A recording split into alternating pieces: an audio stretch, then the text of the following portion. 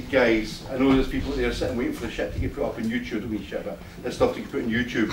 However, uh, uh, it's only bums and seats. Could, these, this isn't free. This costs money because we've got to give the women downstairs some money for, for, for the, the, room, the, the use of the room. We've got to cover the expenses of the guys who are here. That can only be covered by people's bums and seats. So well, we, this, this, we do encourage people to watch our stuff on YouTube.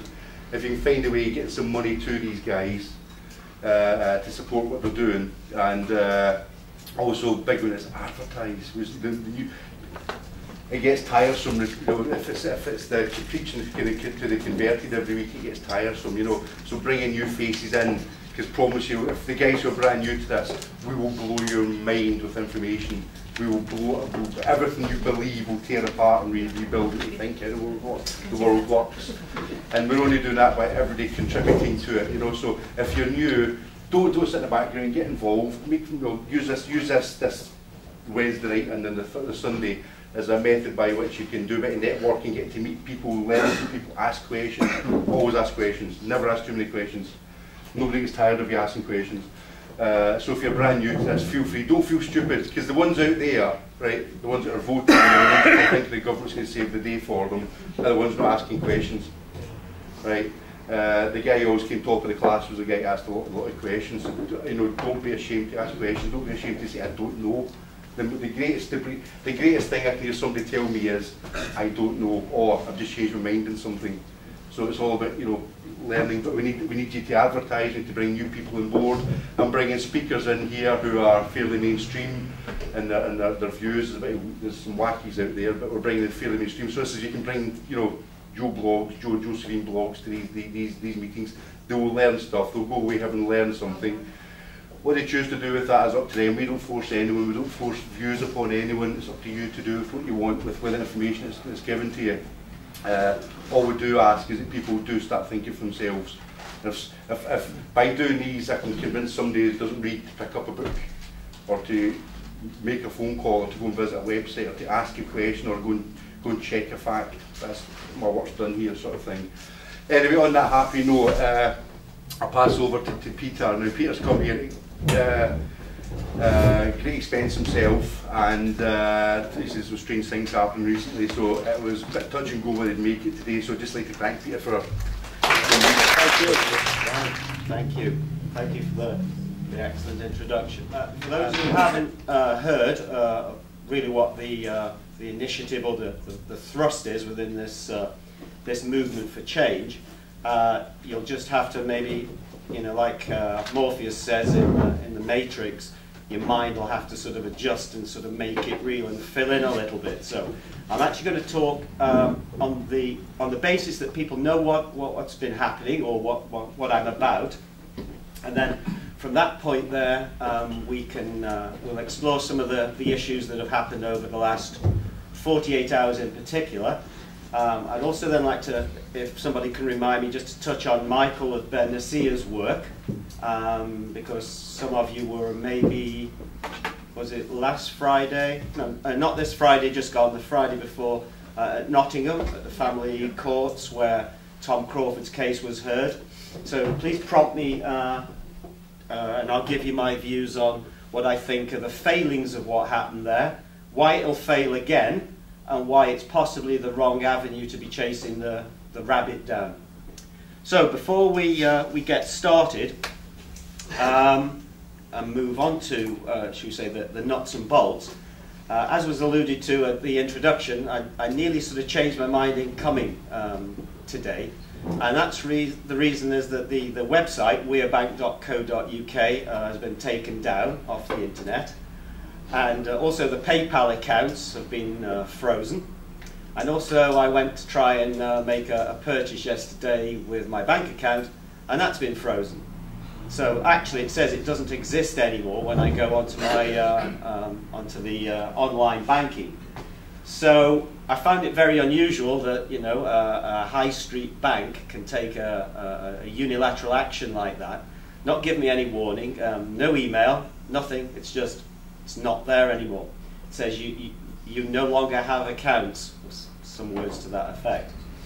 So, how this all started is um, for people who don't know what we're about, um, there is a, a, phenomenon that I describe myself as what I do, something called Peter of England. And this was a, a declaration in 2012, principally, that, um, that I was making a statement to the, the state, uh, which is a, very difficult entity to nail down or pin down. In effect, it doesn't exist anywhere except in your mind. However, it is peopled by politicians, it's peopled by um, the, sort of, should we say, the three main pillars of what's called our constitutional arrangement. Um, that's the judiciary, the legislature, and the executive. Now, these three bodies are supposed to be independent. They're supposed to be like watertight compartments on a ship. And there should be communication between them but their integrity should be maintained at all costs. Now, I would suggest, therefore, that if any of those watertight compartments have been ruptured, then there's been a leakage into one of the others, and therefore the whole mechanism can't be trusted. And we can see that that is the case because whereby in, should we say, the 60s and 70s in the court of law, when you had uh, people um, quite well respected both in the judiciary and outside, like uh, Lord Denning, who was the then Master of the Rolls, um, they would actually make law and alter the laws from the benches that they were sitting on in the court. So if something looked unfair, they would use their principles of common law, their common sense, and they would actually say, well, no, we think this is what the interpretation should be. But now, what we're in is an Orwellian, tyrannical, tiptoe, yeah, Orwellian state whereby all these statutory laws have crept in onto the agenda and now we can't move, we can't breathe, we can't park a car, we can't live in our homes, we can't do what we want with our children without there being a statute or some type of local council authority or a mandate saying if you don't do this, then the following has got to happen.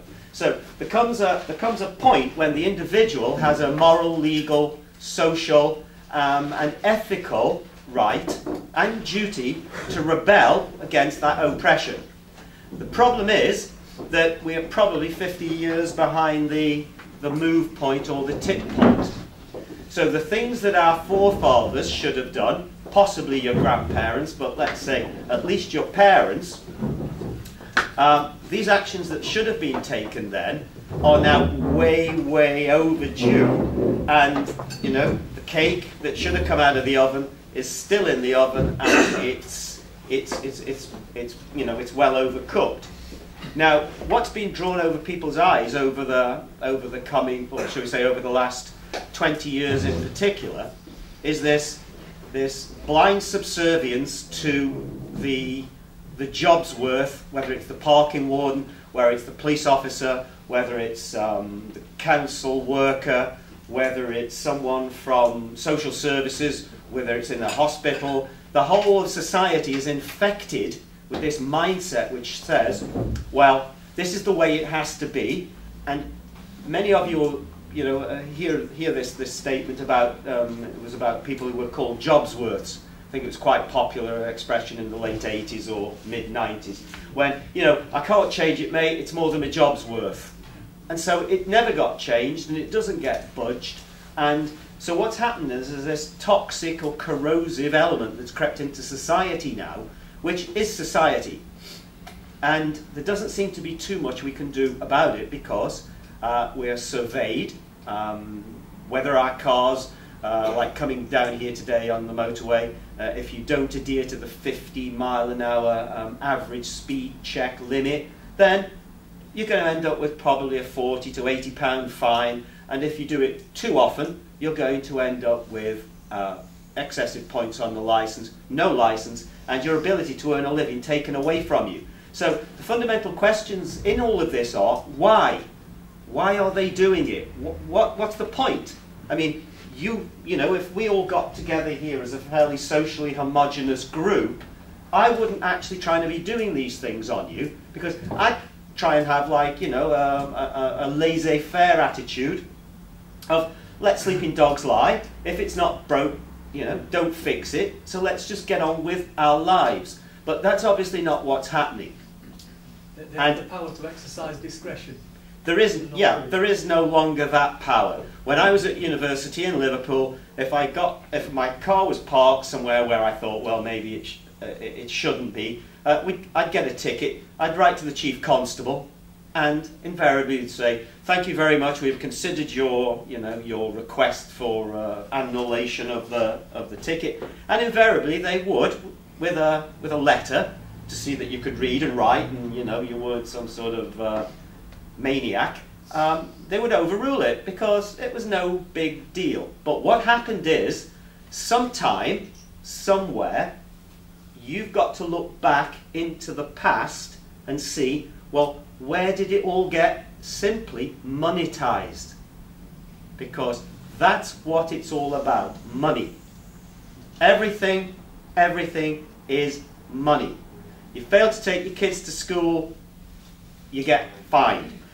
If you take a holiday out of uh, uh, any in term time, they're talking about fining. If you park your car the wrong way round, it's a fine. If you go too fast, it's a fine. Um, if you make, well, there's a whole, a whole plethora of, of things that you can and can't do, which result in a financial penalty.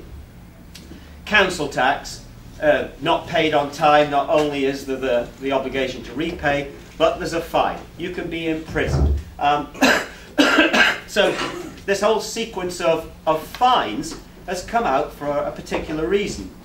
And that isn't necessarily, not necessarily to raise more money, because they do have a lot of money available, but it's actually to criminalize your, your day-to-day living existence. Because statistically, in any, any given uh, arrangement or any given area, there will always be the happenstance. The fact that you just don't have cash in your pocket and you're in a hurry, so you don't put the money in the meter, and while you're away for no more than seven minutes, you get ticketed. The person that's slightly forgetful and runs the red light, yeah, okay, but you're always going to have, by the law of probabilities, within a, a, a, a given catchment area of people, they're always like at the like the roulette wheel at uh, the casino the house will always win because on a margin of probability, you're always going to make a mistake eventually. So if you expand those, those, uh, those sort of cobwebs far enough around, um, you're always going to have people getting trapped in different cobwebs. You might be very, very good, never get a parking ticket, never get a speeding fine for, for years, but someone else will catch you on another one you'll go onto Morrison's car park and like in Stoke-on-Trent, you sit down with someone, you think, oh great, no problem, we'll like on Friday um, last week, sit down, have a chat, have a meal, you come off the car park and you find it took more than two hours, there's an £85 fine just parked there, just for parking your car, operated by an organisation called, uh, I think it's called Parking Eye, these are the people who do the number of recognition, uh, number plate recognition as you come on and come off. All of these companies on all the motorways and all the car parks around the country are set up um, with the permission and the, the tacit approval of something called the Association of Chief of Police Officers, ACPO.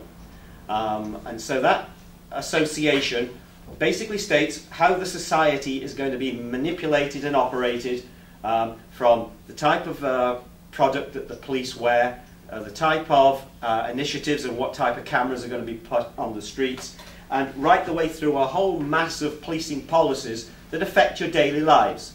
So, this is what it's all coming down to. Why is it all being monetized, and why is it that there's nothing that you can do these days that doesn't cost money? Even to go to the library, um, you know, you'll, yeah, well, you, you can get your library card probably just about for free now. But a passport costs £75, I think, uh, for a renewal.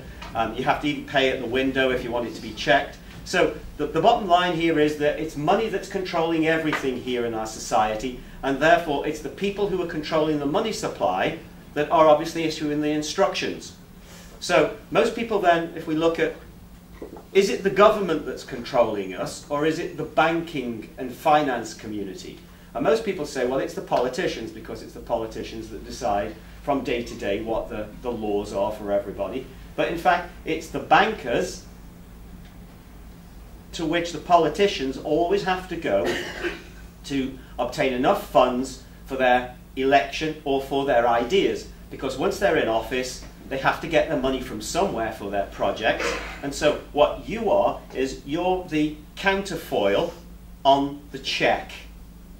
Yeah? So the government with its so-called ideas and its manifestos and its policy seem to want to take society in a particular direction.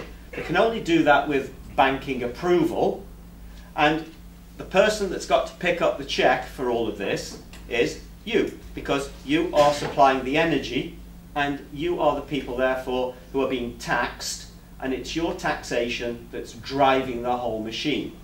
So it's, it's a bit like a catch-22 situation then. It becomes, how do we get out of it, and is it possible to get out of it? Um, so what I was looking at in 2012 is um, and people will have heard this before, I maintain that there's these, these three principal legs on a stool which you're sitting on, like a milking stool. Uh, one is the, shall we say, inviolable human sovereignty. That's who you are. Answerable to God, answerable to your fellow man, but in a private personal capacity. Not predominantly answer, answerable to a, um, a, a, a tyrannical uh, Orwellian nightmare type state, where no one's responsible, no one's accountable, but people end up black bagged and disappeared off to some type of secret court activity where every regime uh, that's ever existed in the past, whether it's Pol Pot, Stalin, Franco, Hitler, uh, the biggest danger always to a community and a society isn't an external aggressor, it's always the dictator within the country itself. Stalin put more people de to death than any other outside agency against the Russians, nearly 21 million. The same could be said of Adolf Hitler, Pol Pot, etc., down through history. So these are the people that you've got to be uh, aware of and careful of. And this plotting is going on all the time, and it seems as if it's always been there. But there are certain stair steps through society where you say, you know, well, this is enough, we need to change now. Um, but it's difficult. Look at the election that we've just had. A very good comment in the Daily Telegraph by one of the, uh, the political, political columnists. He said, wow, excuse me, did I, did I dream this? Because weren't we telling you for weeks beforehand it was going to be a hung parliament? Weren't we telling you this? That even the exit polls were saying it's going to be this way and it's going to be that way. We might not have a parliament till Christmas. Um, so a lot of doubt and uncertainty, but by 10 o'clock on the evening of poll, uh, poll day, evidently, no, the Tories had won a landslide victory. Nigel Farage is gone, Miliband's gone. Now, um, the front page of the, the, the Telegraph the other day is that Middle England sees sense and comes to rescue uh, a red tide that could have engulfed England or ruined the country. So you have to question whether you can believe all of this and I would, I would suggest to most people, um, you know, take it with a, a very large dose of uh, uh, medicine because um, they're not beyond uh, they're not beyond the ability to, to make things happen for their own obviously agendas.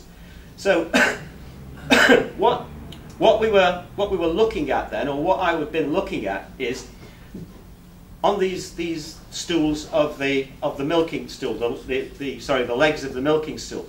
First, you've got this one with the uh, inviolable sovereignty. The second one is free energy.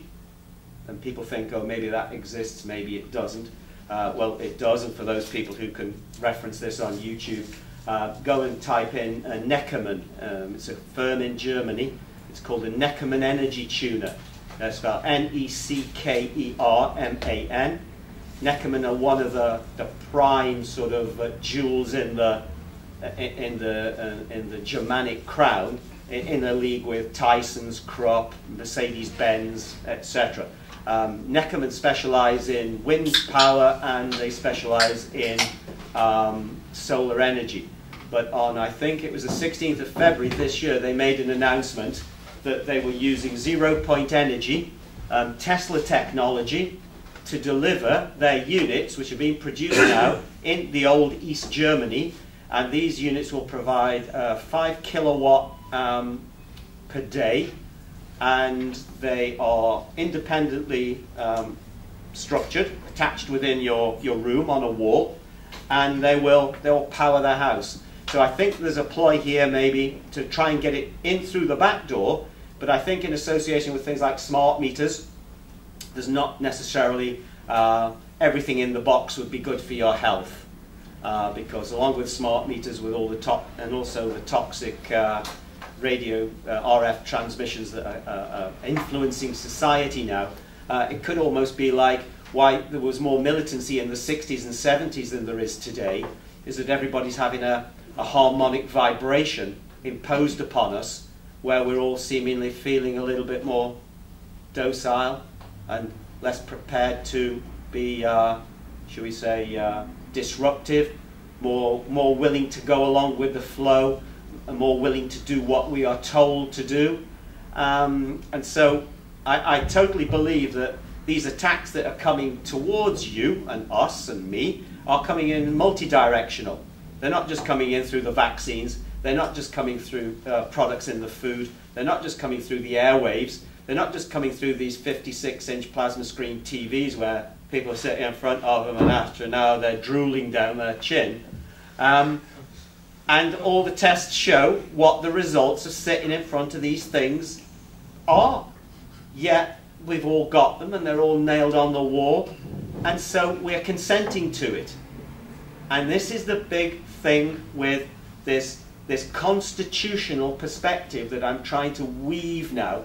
Uh, now that I've come back over to, to England, and it looks like uh, I'll probably be here for a while if the government has its way.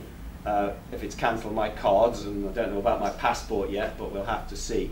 Um, and that is to start knitting people together, to waking up to the fact that as long as you consent to it, they'll keep doing more when they put these stories in the press and this is going to happen and this is going to happen, um, what it was called in the 50s and 40s in engineering parlance, especially in the uh, aeronautical um, world, was shock testing. So what they do is they get an aircraft or a piece of engineered um, material and they would expose it to vibrational shock or banging or bouncing or whatever they wanted to do with it and they would see how it would react. They find out where the strengths were, find out where the weaknesses are, then adjust the model, and then take it down the road and do it again. And so this is what's coming into your society now. You also have a condition, two other conditions that are running side by side. One is Stockholm Syndrome. And Stockholm Syndrome is the potential for an individual who's been tortured or abused to be nice to his torturer on the hypothesis that the nicer he is, the less he'll torture him. Okay? And then the other aspect to it is something called learned helplessness. Um, two people, uh, two CIA psychologists, um, late last year, around about October, were, were parodied a little bit in the, in the main newspapers because they'd received something like, I don't know, three and a half billion in funding from the CIA and the NSA to look at the old uh, paradigm of how do you make people actually comply. And the technique is simply to bombard the individual through whatever means possible with as much uh, debilitating information and so much information that they can't react to, um, usually to make them what's called a feeling of despondency. So it's the flooding in Bangladesh. It's the earthquakes somewhere. It's the fact that 30 people have just had their heads cut off on a beach by some guys, you know, called ISIS, which were just magicked up from somewhere and nobody had ever heard of them. And then, wow, suddenly they're on the world map, um, you know, threatening to invade Rome, you know. So you've got to ask yourself, along with Sandy Hook, along with 9 11, along with uh, um, uh, the false flag uh, of uh, Pearl Harbor, the 7-7 2005 catastrophe, where Tony Blair and his, and his, uh, his band come along and openly uh, perpetrate a, a, false flag on British soil, and this is why they never had a, uh, and won't allow an investigation to be done on it. And this is why I went into the courts in 2007 uh, before a guy called Judge Graham Richards and put 13 arrest warrants for Blair and his cabinet before the judge on these points and many other. And so I'm not new to what I'm doing, um, and this is one of the things that it brings me now to, to this point in time, that I've got this quest to pull, push forward. Um, I've taken this free man route of disconnecting from the state as best I could. I made several affidavits. I've served those on the Attorney General. I've served those on the Lord High Chancellor, who was at the time Kenneth Clarke, and made very, very specific um, references to the fact that I cut myself free from the state, that I am not an asset of it, I am not subject to any of its alphabet uh, uh, organizations. I'm not um, in a situation where I'm going to be told what to do, and that I'll operate under common law and with what's something called like a, a liberating universal principle that I'll treat others as they treat me, and we live by a golden rule of do unto others as you would have them do unto you, as long as you're not a, a sadomasochist. Probably. Pardon? Matthew 7 12. Excellent. Well done, Matthew.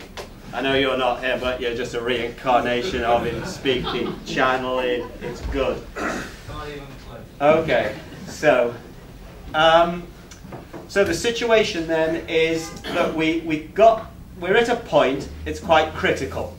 And what's going to happen after this meeting, you're all going to go your separate ways, and you'll end up at home tonight, and we'll all do the same things as we always do.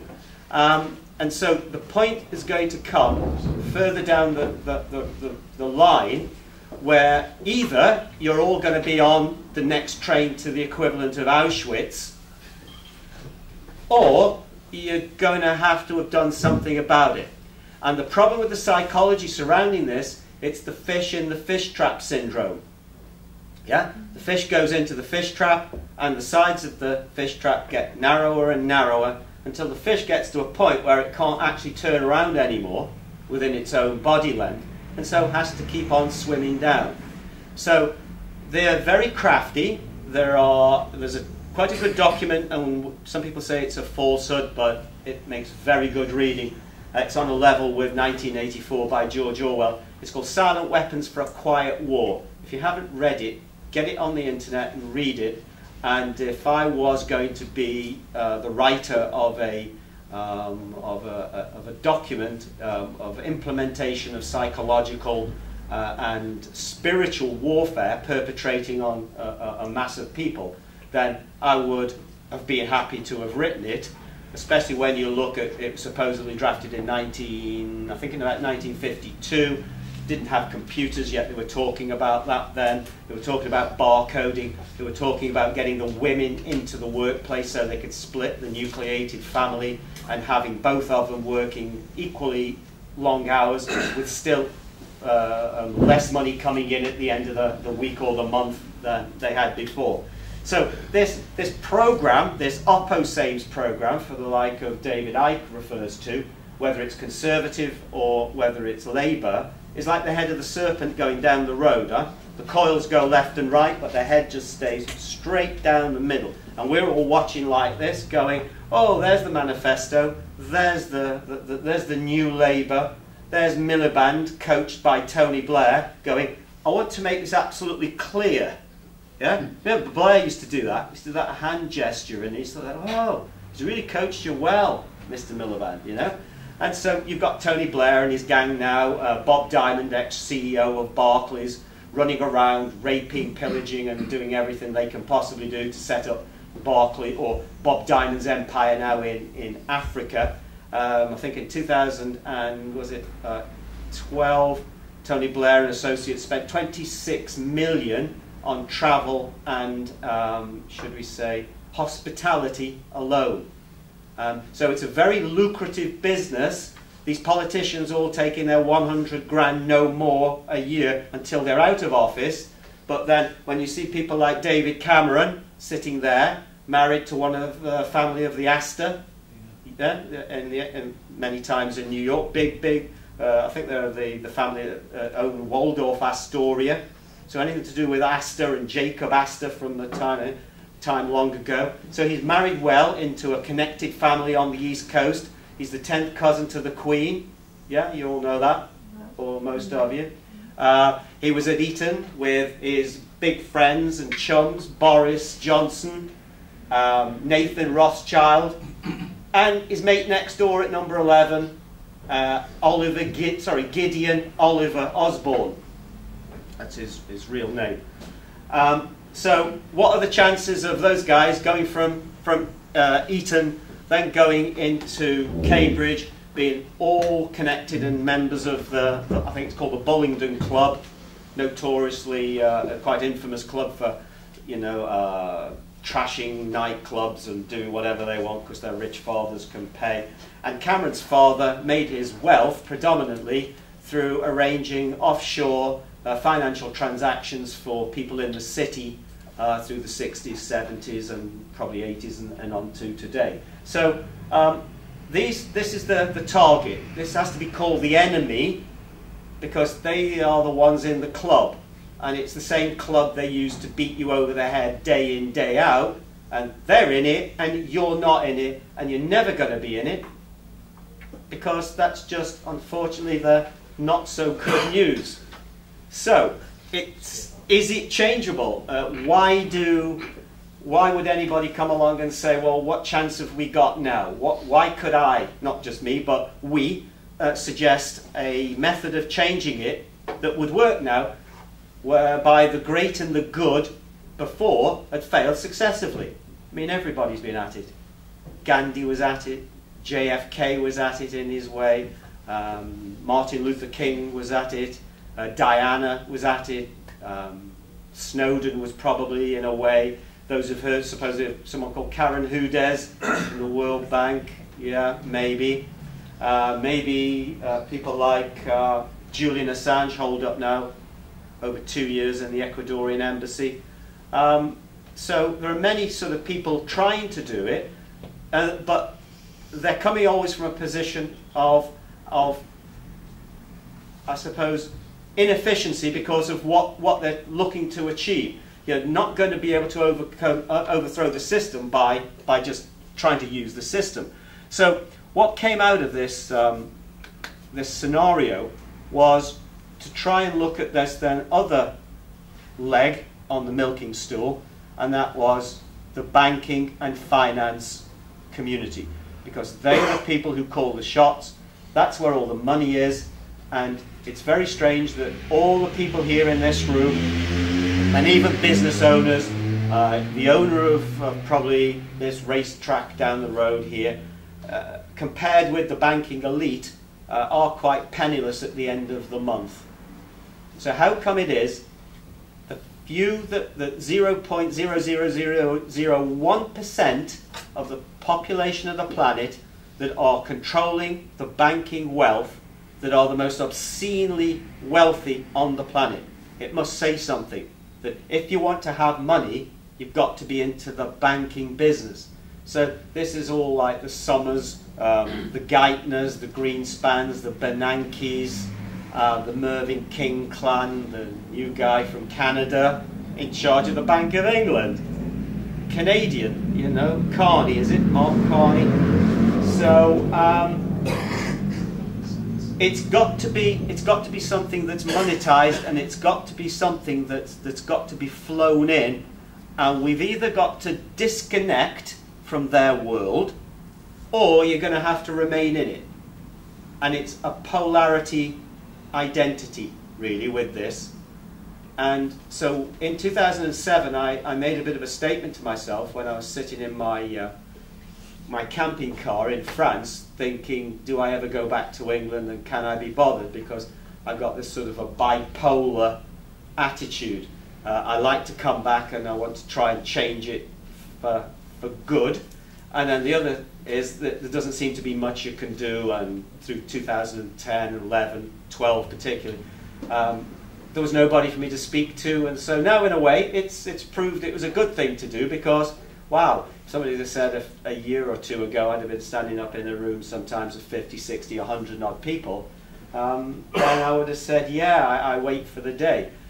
So uh, this, this, this Peter of England um, saga began, and it was a deliberate attempt to say to the government that the individual, if it's done correctly, has the right to adjust his life and live his life accordingly on fairly standard, well acknowledged, um, incontrovertible common law principles that are basically almost common sense principles. They've been there and they've always been there, and unfortunately, what's happening now is it's all being buried under a sea of statutory authority. So it's bringing it back now to this, this kernel, or this, this, this nub on the wheel now, which you're going to have to try and grasp. And I'll, I'll over, the, over the coming weeks and months, escalate this to a, a, a more identifiable level where I'll produce documents. I mean, the first tranche here is the WeRe bank thing, the checks going out. 10,000 checks gone out over the country and the bankers don't know what to do with them. But the idea is we've got to get people woken up to this constitutional point of who you are and who this state is. Because if you say, well, who is the state? Where is it, officer? Uh, well, it's in Westminster. Well, no, that's just the 650 MPs now, and then the House of Lords. Uh, but what about the cabinet? No, it's not them, and it's is it the judiciary? You know, no, it's not the judiciary. You know, and so the Buddhists teach that if you actually look at all the parts to a given thing, and every one is identified as not the one, the group or the entirety cannot be it. It's, uh, it's, it's, it's just not logical. So if you ask, is, is it? No, no, no, no. How can a group of negatives be a positive? It's, it's impossible. So what you've got to realize is it's reasonably simple. The, the constitution that is emitting all these, these laws onto you, about 98% of them are not acts of parliament. Okay? They are called an act of parliament, but there are different things within parliament. There are, and people, forgive me, the people who probably heard this, I don't know whether I actually covered it a few weeks ago. Um, there's primary legislation, which is the bill is introduced, it has its first reading, it has its second reading, it might then go to committee stage for adjusting, and then it goes to debate before the House, and then finally it's sent up to the House of Lords, and then they can, they can sort of backtrack it a little bit, but they can't delay it um, infinitely, and then eventually it receives the royal seal or the royal assent, and that becomes a, a law. Um, because of the sheer weight of um, legislation, that these overactive, zealous governments now are trying to churn out to restrict you and control you and dominate you in every manner possible. Um, and uh, you know, it's it's totally against the teachings of Christ if you're Christic. It's totally against the teachings of, of Buddha if you're of a, a Buddhist disposition, and certainly against Hinduism and almost every other, you know, should we say, even Islam um, uh, consensual religion on the planet. So you've got to ask yourself, why are they doing it and what's driving it? So there's the question. Why are they doing it? What, what's the end game? Because there is one.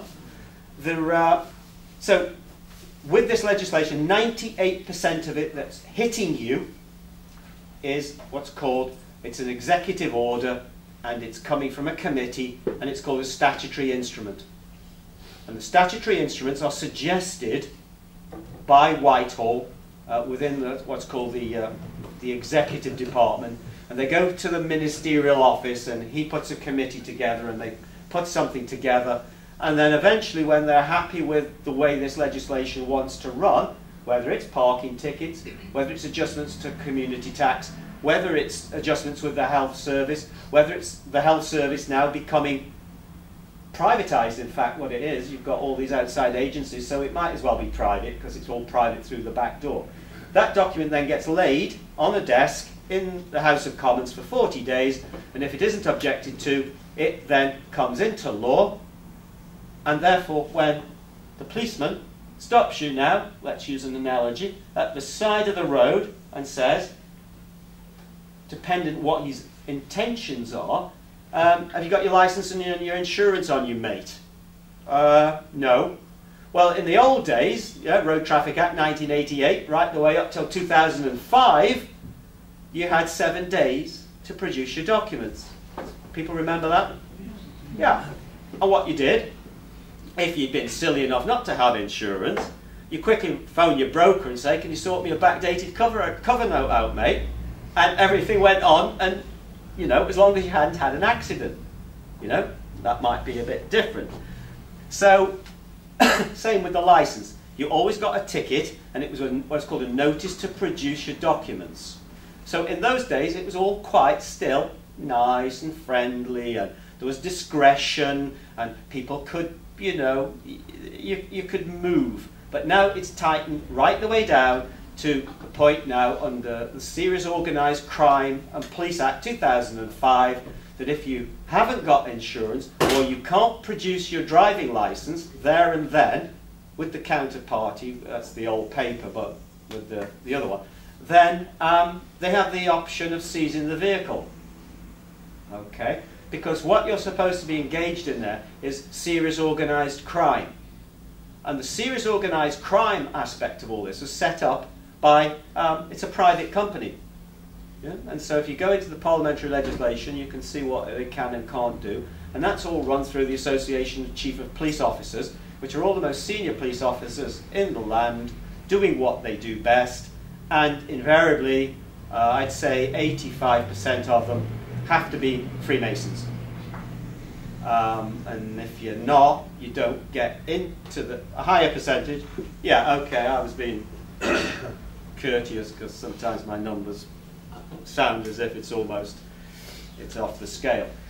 So this is this is really what we're up against. Um, how many Masonic lodges? Don't answer if you're at one of the meetings. How many Masonic lodges in uh, the United Kingdom? Anyone hazard a guess, roughly? 400. 10,000. 10,000 lodges. So 10,000 lodges up and down the country. Let's say there's about a hundred Freemasons in each lodge. A number?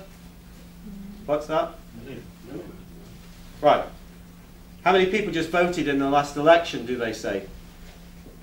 About 50? 50 million, they say? Okay, so 50 million so one fiftieth of the population, not including some, these don't uh, include the, um, the, the, the female lodges or the female aspect of membership.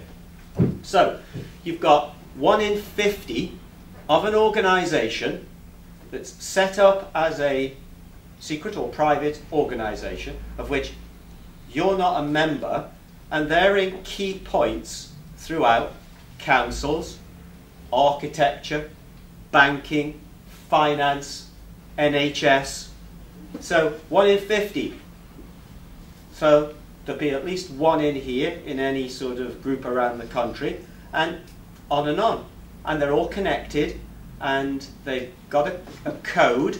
Um, they, for the people who don't know, they are Baal worshipping, yeah, the god Baal or Baalek. Uh, it was uh, on Mount Carmel, and it was the prophet, is it Emmanuel, who put 400 and something of the priests of Baal to death when they put the, remember they, they put the, uh, they put the carcass of the, the bull into the pit and commanded Baal to ignite it and it failed.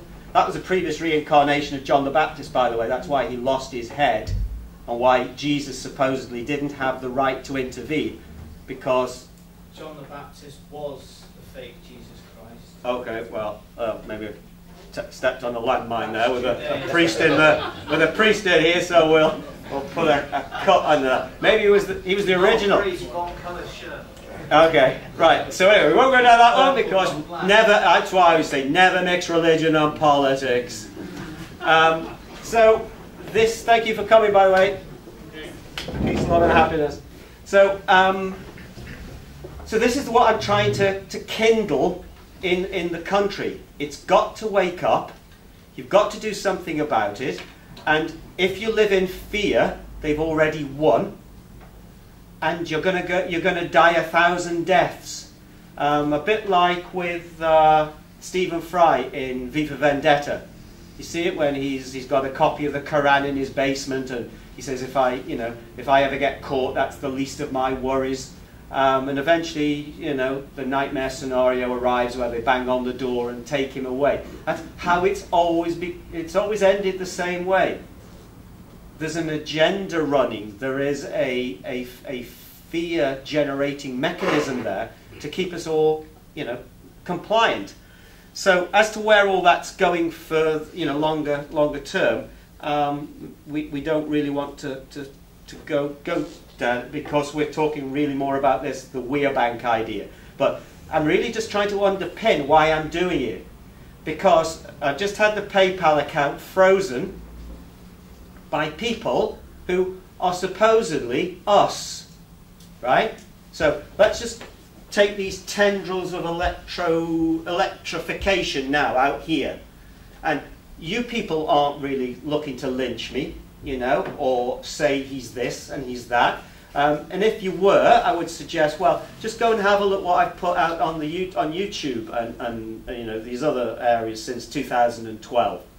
Um, maybe speak to people about what I was doing for, for 10 years before that, sort of living almost in a camping car on my own, living in a, uh, in a cave in Spain. Um, you know, it's not, the, it's not the pedigree for someone who's coming to try and make a quick 10 quid or rip you off. And so what's happened with PayPal is they phoned me up about three weeks ago when I was in France. I wanted to know what, the, what was being traded on the account. So I explained to the lady what was happening, and her name was Tanya, she's listening, PayPal, Ireland. And what she said is, oh no, okay, that sounds fine. And, uh, and, and, I said, well, you know, uh, we're doing very well. Members are coming on all the time. We're expected to continue. And she said, okay, well, if there's a change, another team will be in touch with you.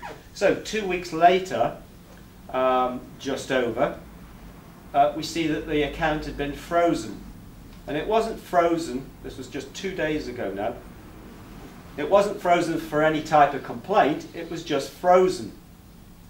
So I got on the phone and asked various questions, spent over two, three hours explaining over the course of a day and a half. and uh, evidently there was one person that had made a complaint then, it had come in. Um, and so that it drifted a little bit, and they said, fine, no, somebody would get back to you.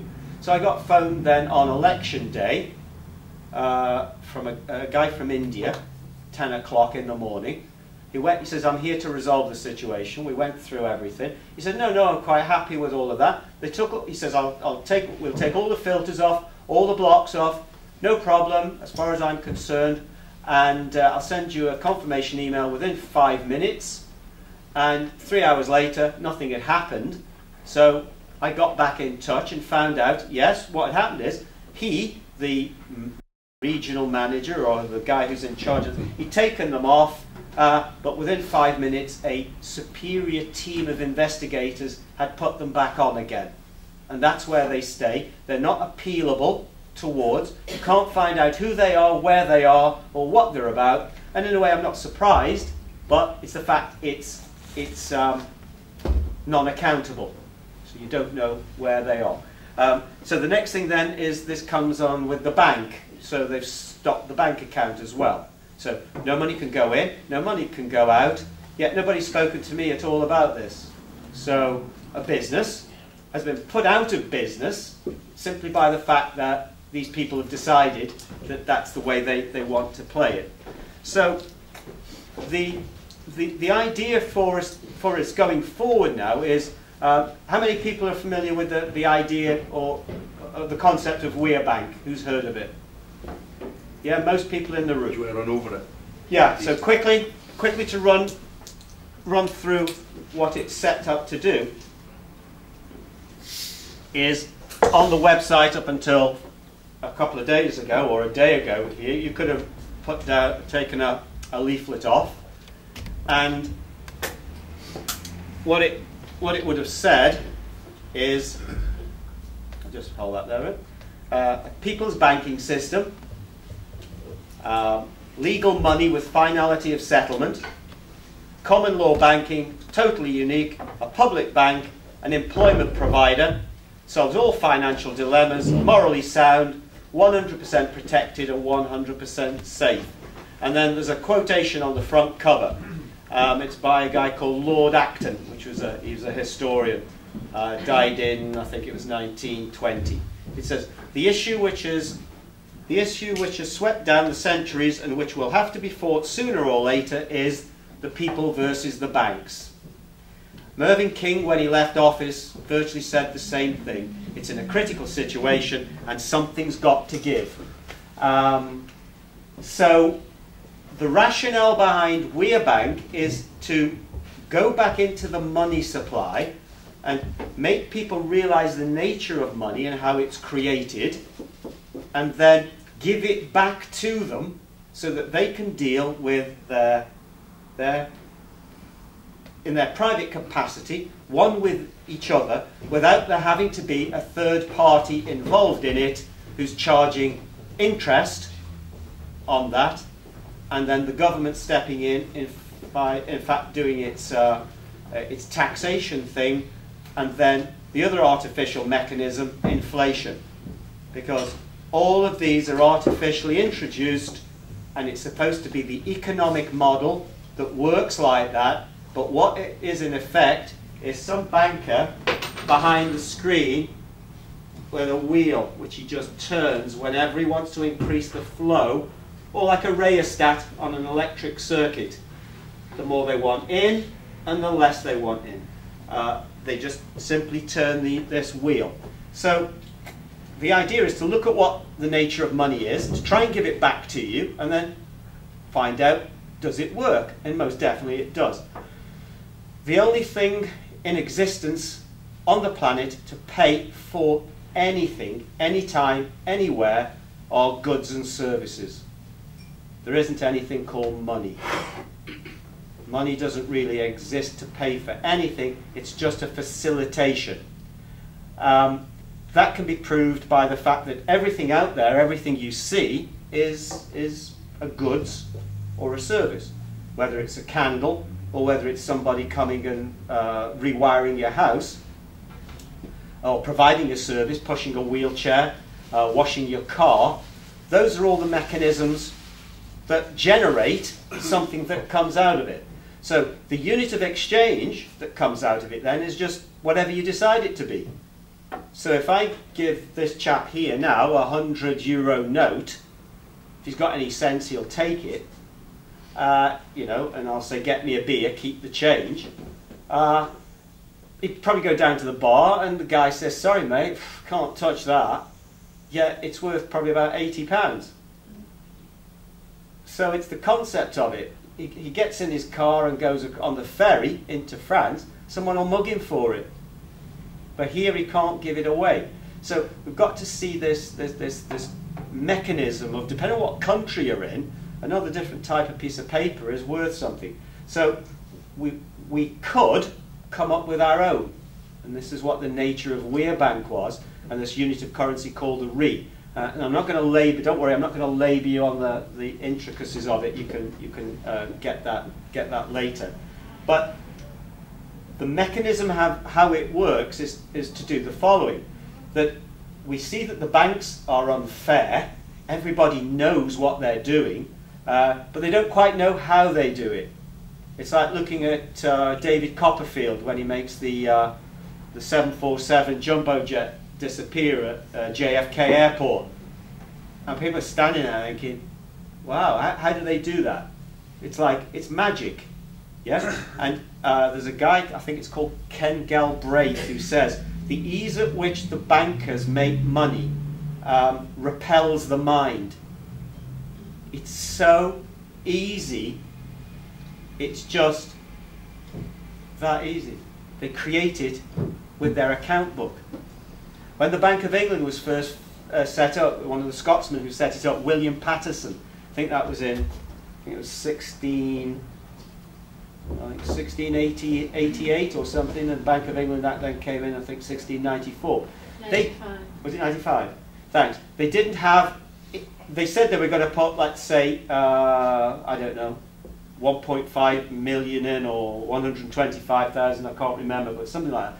They didn't have enough.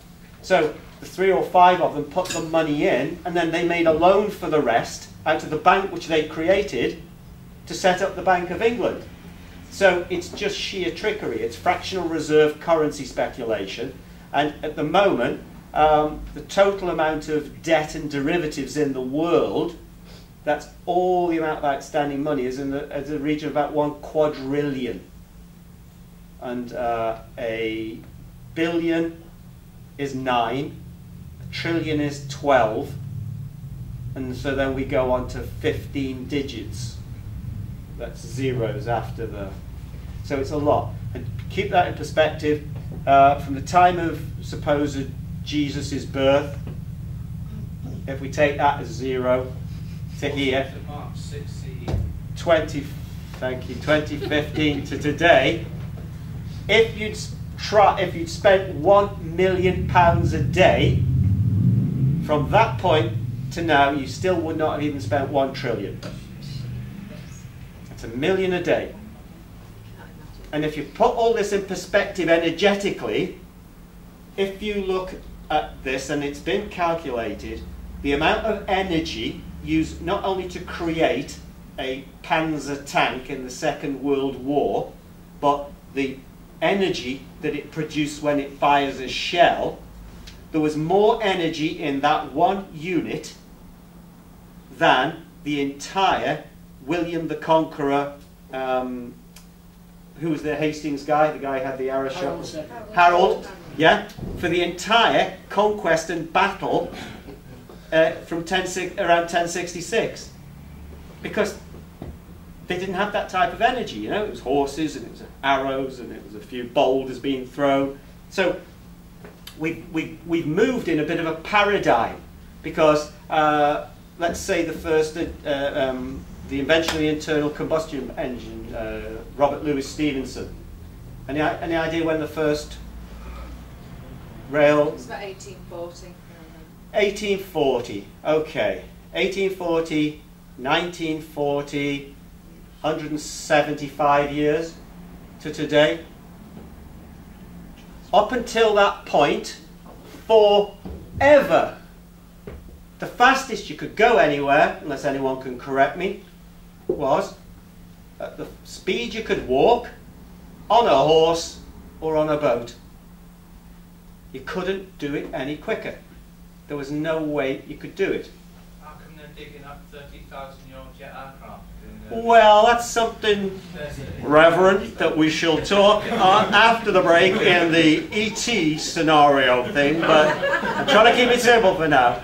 But yeah, I totally agree with you. So yeah, and all the history that's been taught is a crock. But apart from that, just to keep the integrity of this argument now that's been blown out of the water, uh, but for what you're taught in school, the mind washing technique, the 9 till 5 curfew, so the parents can go off and work, um, we've had a massive change in speed. And now you can go around the world probably in 12 hours and uh, you, you, you're going to get HS2 rail networks because we want them, because the trains are so packed and we can all afford to travel. Not.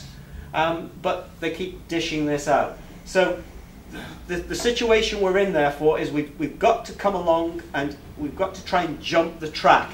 So we've either got to take this system down 100%, which involves effort, or we've got to park up alongside it and go down the street saying, well, fine, this is our model and we like to sort of play with this and we won't bother you too much, so please don't bother us. Now, I would suggest that's an inviolable right of the individual under the Universal Declaration of Human Rights, which probably isn't all it's made out to be, but it's never quoted anymore, um, and a mass of other so-called human rights legislation, which tends to profess, profess that you've got these rights. But unfortunately, these rights are almost like the rights that a chimpanzee has in Whipsnade Zoo. It can do whatever it wants as long as it stays in the cage, doesn't bite the keeper, and it's all conditional. So there's, there's something that's got to give, we think, and I hope you'll agree, but how we make it give is, is, is, is the tip point or the choke point. So with the, this WeRe bank model, what we decided to do, or what I decided to do, was to come along and duplicate the banking model. And the fact is that there's a, a, a method, therefore, of either fighting the banking um, model or, or going with it. And most people are drowning in a sea of debt. Most people are being uh, asked to provide um, tax or being uh, having them houses repossessed because they've got behind in the mortgage. They've got uh, credit card debts that they can't pay. These are all uh, ensuring bailiff actions and all the rest of it. So we, uh, we decided to look for an answer, and it has to be within the money supply and the way things are financed. So let's look what they do. If you go to the bank and want to borrow some money, they make an assessment of what you can pay.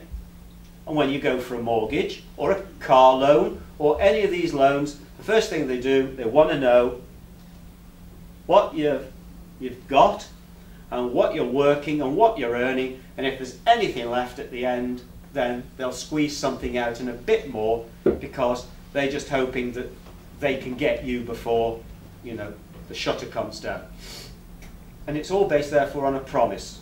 A promise to pay energy over time. And so I looked at that and said, well, it's quite obvious, and everybody says it in the banking community.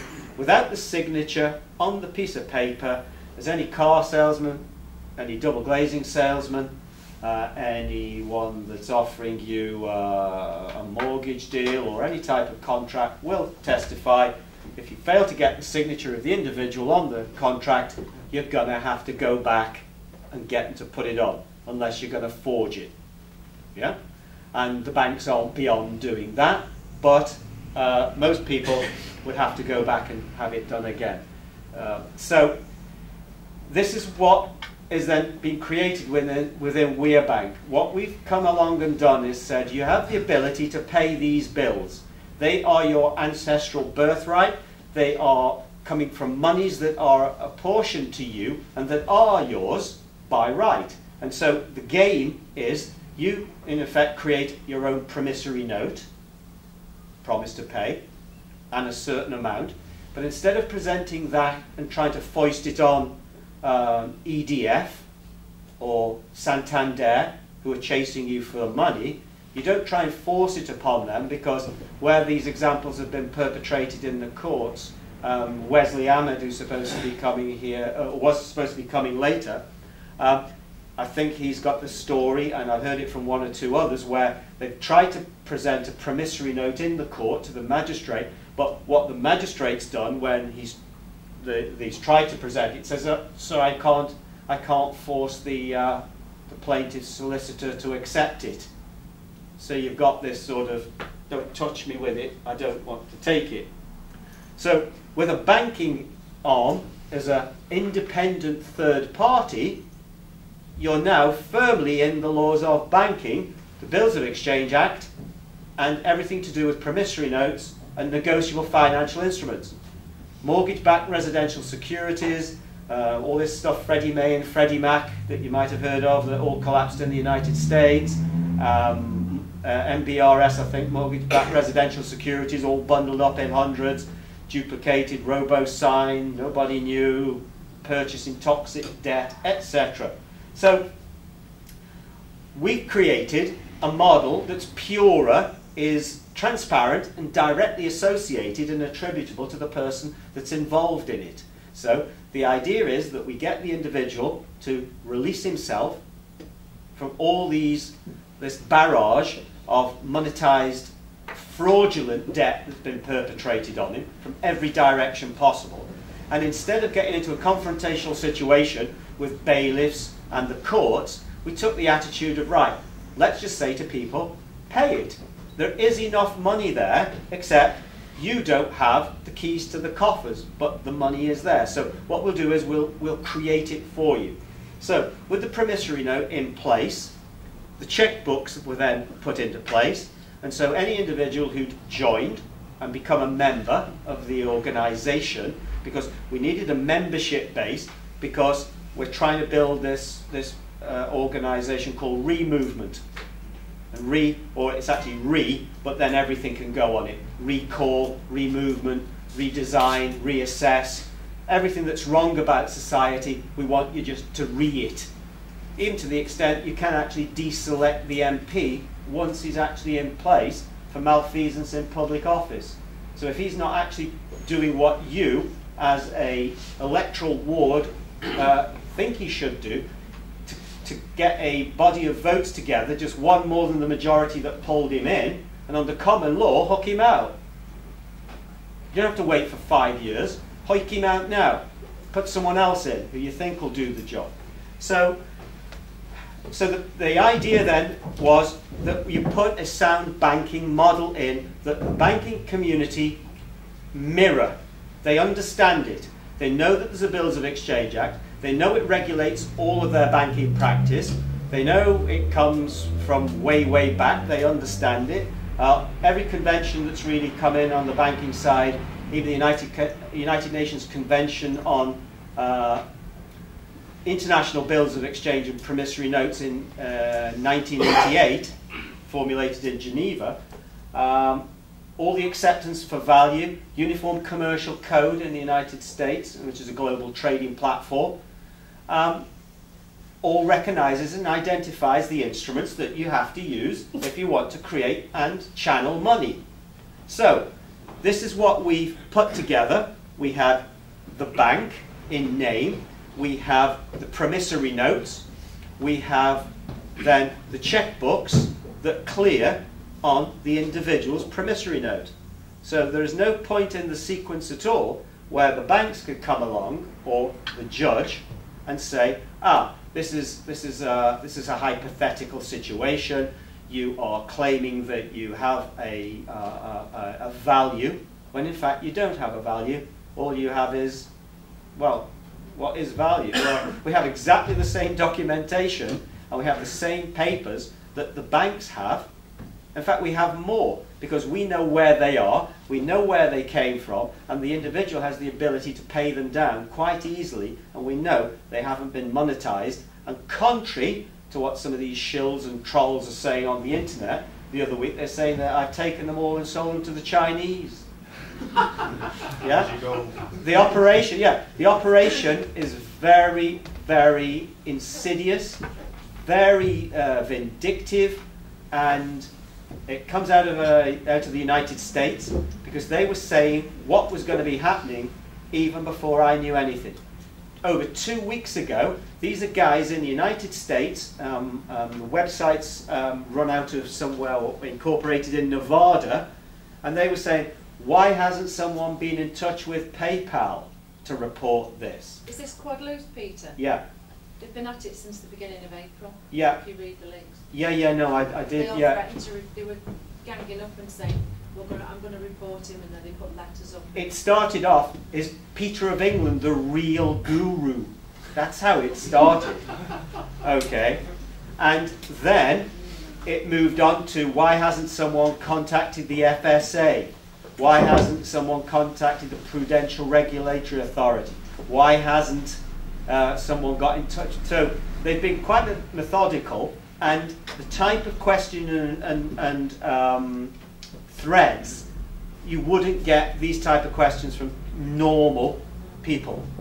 You know, they've got a tenacity, they've got a, a corrosiveness and uh, an agenda that is just like trash it no matter what. And the only vindicating point, and whether I end up speaking to another group again or not, this is why it's important for you to see it or hear it coming from the horse's mouth, is it's, it's not true because, one, I'm here, I'm standing here doing it, it's got a perfect track record. I've had some of the best contributors of various forums get in touch with me and said, um, even Michael of Bernicia, who's coming in a couple of weeks' time, um, you've nailed it. There's not, it's bulletproof. So don't care what anyone tells you out there that no, you can't do that because um, the sort code isn't recognised. It's fraud. You're passing a fraudulent cheque. Look at what the definition of fraud is. Yeah? Um, the sort code. I've had conversations with, uh, uh, I've had conversations on Friday, a guy called John from NatWest Clearing. I've had UK Clearing on. I've had EcoBank, uh, I think in Bradford. I've had Yorkshire Bank, post office counters on. I've had um, Clydesdale Bank, uh, and I've had the Royal Ontario Bank of Montreal on. I've had Chrysler uh, Canada on. Um, I've had all these people coming. I've had Bromley Borough Council, John May, if you're listening, um, asking me how we clear the checks. What do we have to do to clear them? And I take my hat off to most of these people who phoned. None of them have said, apart from UK Clearing, who tried to intimate I was involved in some type of fraudulent activity, or maybe correct that, that I was misleading the, my customers because they were told that they could do this and we've got to return it, so I'm, I'm not speaking the truth. So nobody, apart from these quack, quack, quite, um, Quang, Quangos. whatever, no, that, that, that organisation there whose name I can't even pronounce. I love you. Yeah, um, are saying these nasty things, you see? And so if they'll sit down and if they'll listen and if we can go into any court in the land to present uh, one of the checks. Has anybody who's not seen them? I'll just. I hand the principle is that they look like a check, they are like a check, and they clear like a check. Now, what all the major clearing banks would say is that because the major clearing banks would say um, they can't be cleared because the, um, the sort code's non-existent. Okay? Or it's invalid, which is a crafty way of trying to say, you know, there's something not quite right there. So the sort code is that, oh, it actually isn't on, sorry, these, on these ones, these were done quite some time ago as a first draft uh, by the company. You read there. The original company that were putting these together were so meticulous that if I hadn't have made the corrections, they would have had these go out with uh, National Westminster PLC still printed on them. And they'd even left the, uh, the National Westminster watermark on the final proof. So I had to tell them. So anyone that comes along and says, oh, this guy's trying to pass things off, I actually have the record and the proofs that I sent back to say, no, sorry, we don't want NatWest on there, we don't want a logo on it, and I had my first meeting with these people called Communisis, or Commune with ISIS, in, uh, yeah, in 2012. So this is a very, very slow burn, and I was methodical. And unbeknownst to a lot of people, the day the checks were due for delivery and just about to be loaded on the TNT courier, they phoned me up and cancelled the, uh, the delivery.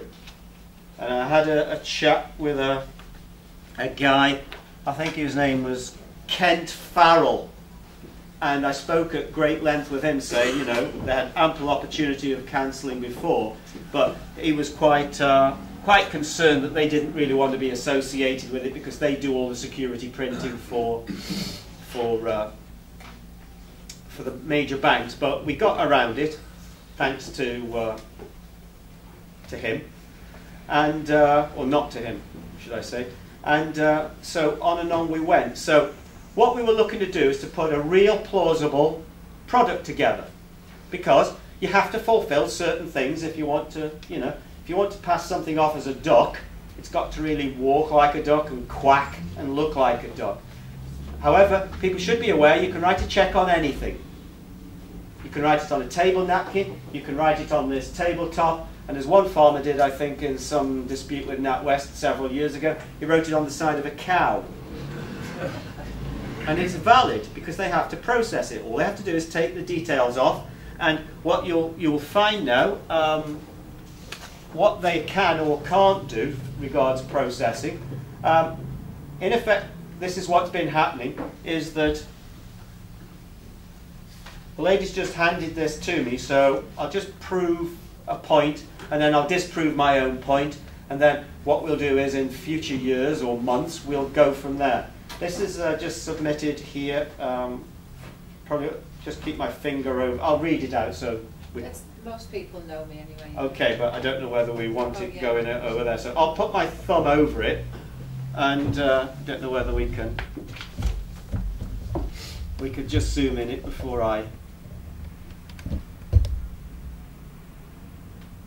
take it back again. Okay, so we've had many people phone me up. For example, American Express uh, got in touch with a lady, said that the check had cleared. We've had council tax uh, zeroed. We've had um, Barclay card zeroed. We've had Barclay card accounts zeroed. Um, this one here, I'll just read out here. It's addressed to um, the lady in the room here. Let's just call her June, even though it's May. Okay. So, dear June, thank uh, this is from United Utilities. Thank you for your recent payment of 1,354 spot 51 that we received on the 30th of April. Uh, I can now confirm that your account balance is now paid in full.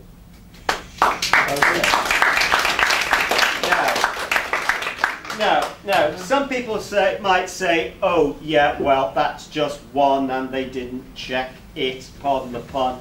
But um, if you were going on the website, um, there's a small video by the Check and Credit Clearing Company which shows the basic procedure of how a check clears and after a certain period of days you can't renege on it. It is clear if after the sixth day the funds can't be taken out of the account. So a lot of these checks, people have said that um, they've been returned, the banks are returning them to the customer and telling the customer that WeRe Bank refused to clear them. Now, I have the phone. On the checks, there is a hotline number. There is nobody else picking the phone up. It's on from 8.30 in the morning till around about 6 at night, sometimes later, uh, because people from Canada and the United States can phone.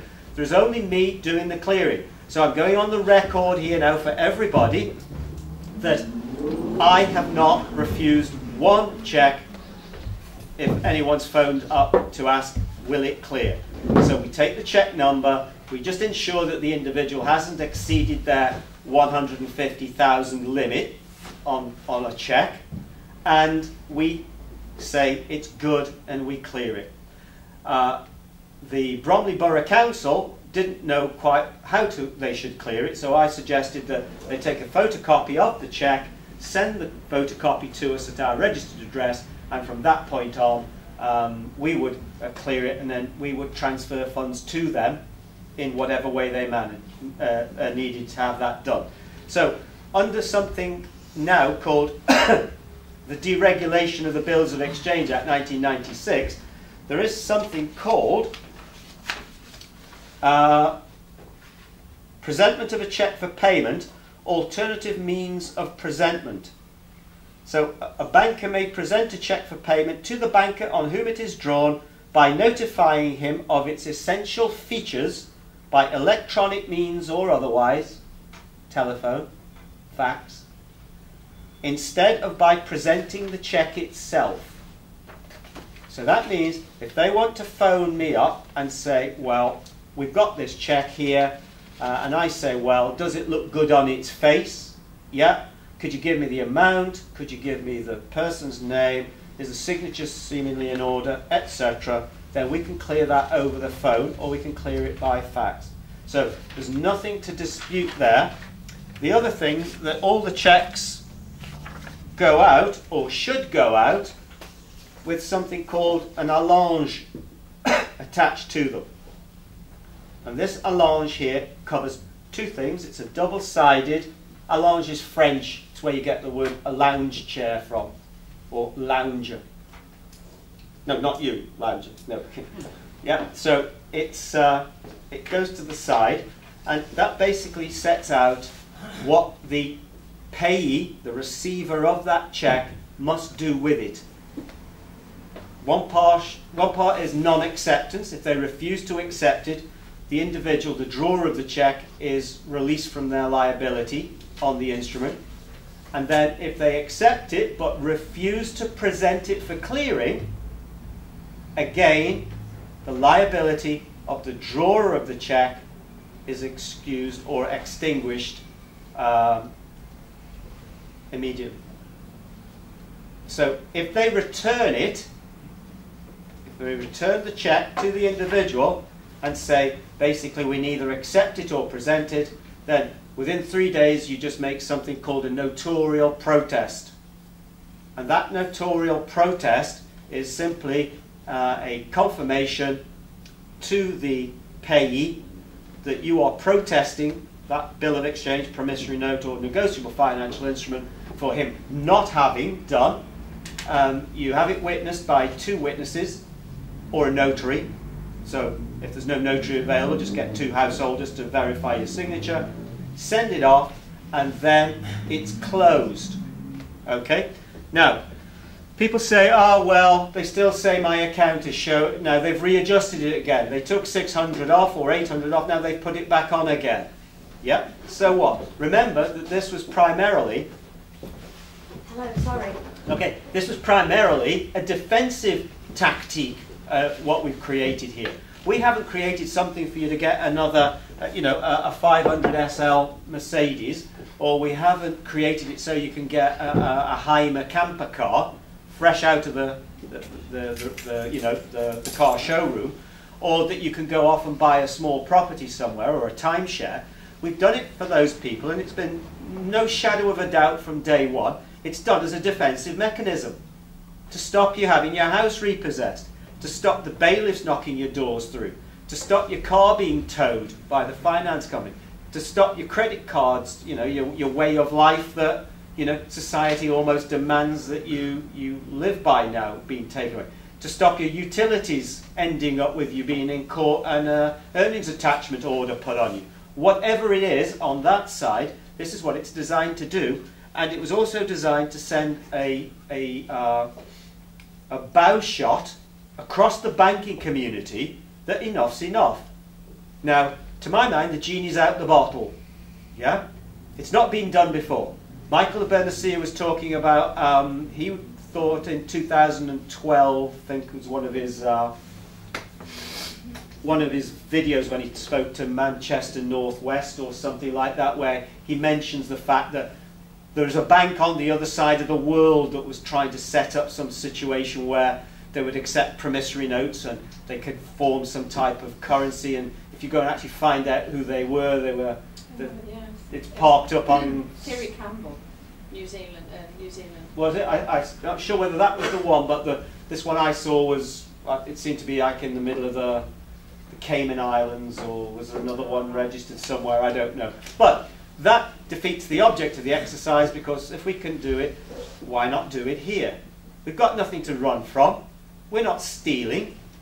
You know, I'm not doing anything that the people who've joined and provided the promissory notes haven't given permission and a desire to do. The problem was it started off 10 to 15 people a day joining. It soon increased to 25 to 30 and by the time PayPal pulled the button, it was averaging about 35 people a day coming on board.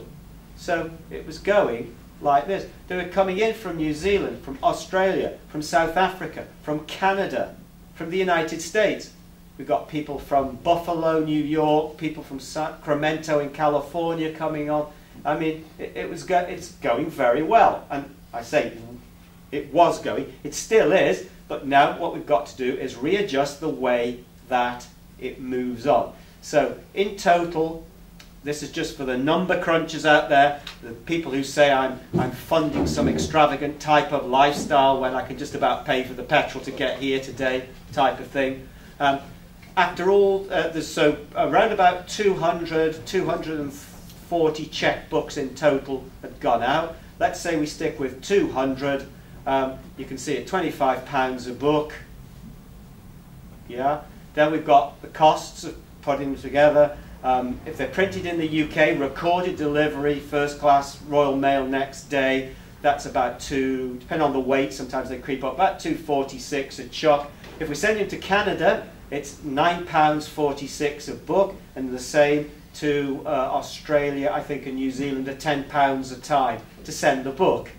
So, you know, we're, we're not, I'm, you know, I'm not going to be um, living uh, on some island and retiring very soon because now we can also see I can't make refunds and I can't put anybody back into a better position than they were as of election day, the 7th, that's when it all happened, uh, because the the amount that's in the PayPal account now is frozen and I can't make refunds or do anything. So for the future taking it forward, we're probably going to have to move into another scenario, which I won't necessarily cover now, but we might have to have a little break because I think you've done very well, especially as I'm not using um, um, PowerPoint and I'm not putting pictures up there because um, I didn't bring my, uh, my uh, um, PowerPoint presentation today because I had certain things backed up as I explained before.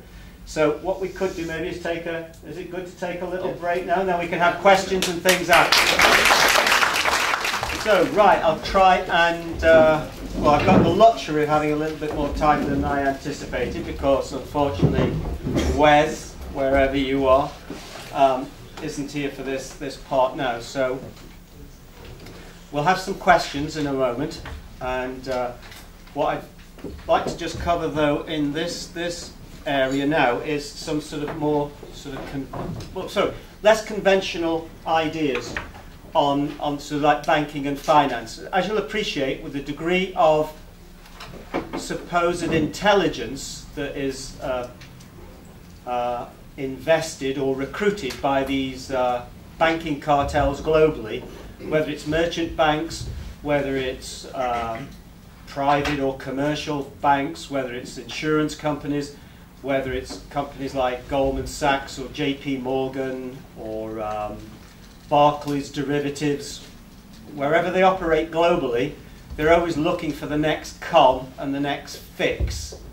Um, typically, sort of in the 80s, you might have, uh, you, well, you wouldn't have heard of it maybe, but there was a there was a, a, a book entitled, I think it was called Blood in the Water, and it was an expose of the J.P. Morgan tactics for selling um, bonds um, and various types of securities to um, the equivalent of the local councils in uh, the United States and some of the, the tactics they used and the, the uh, incentives that these brokers were offered, where some of them could earn a million, a million a week, uh, with depending on what type of, of bonds they were selling.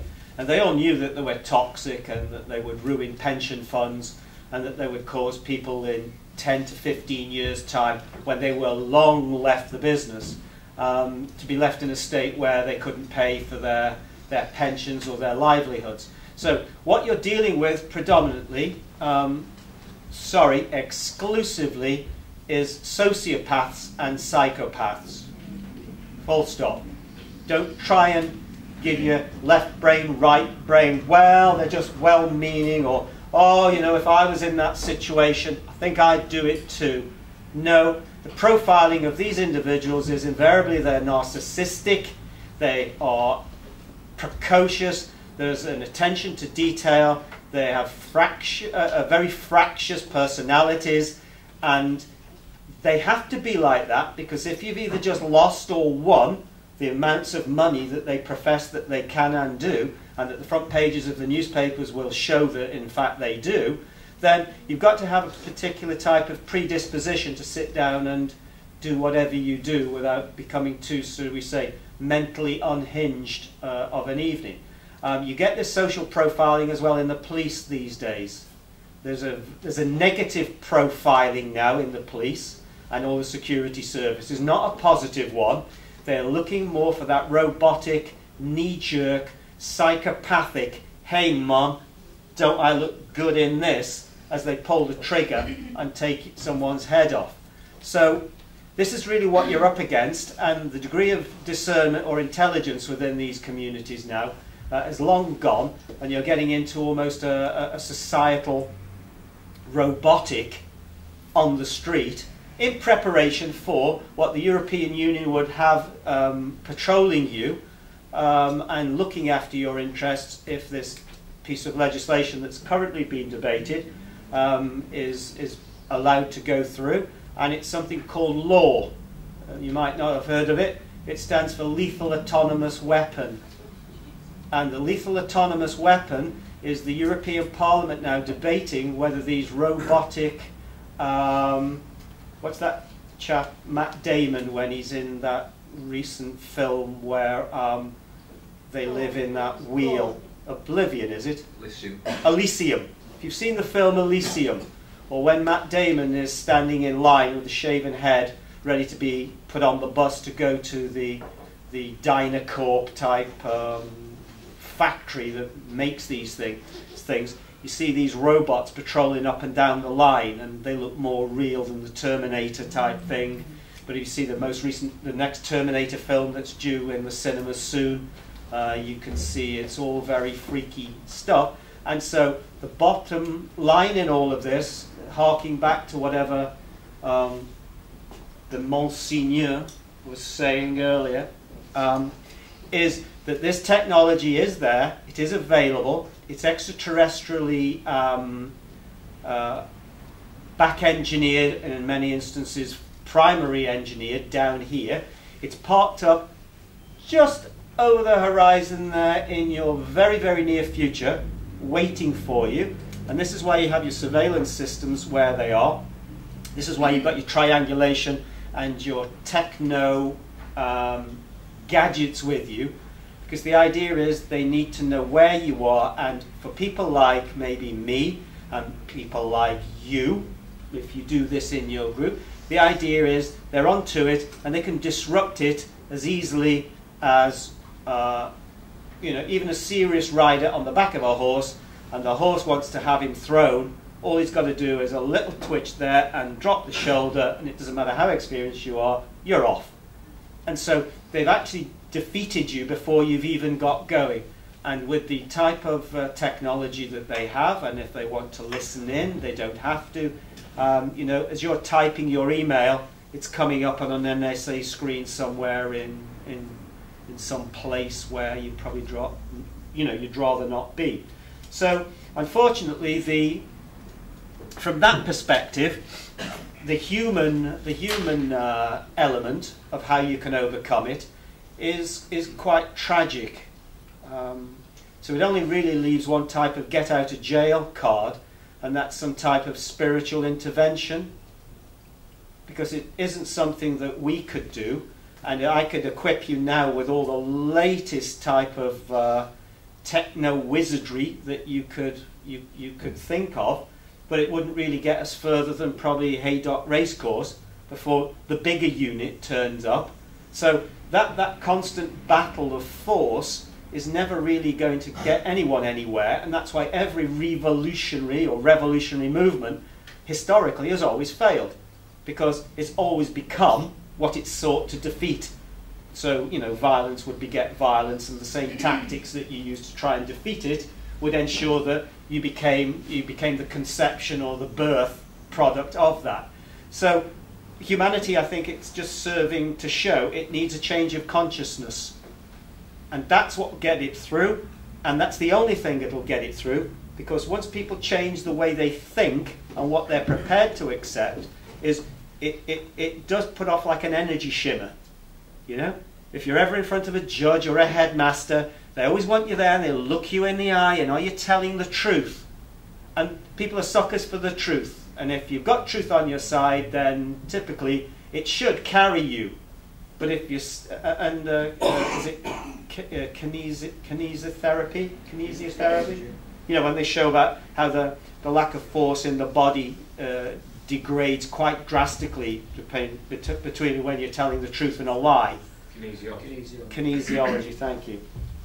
And uh, so the, the human being, uh, you know, the, the, the auric fields and the energetic fields or the morphogenetic fields that we, we live in and radiate, they all have these energy pictures to them, and we give off what we, we're basically believing.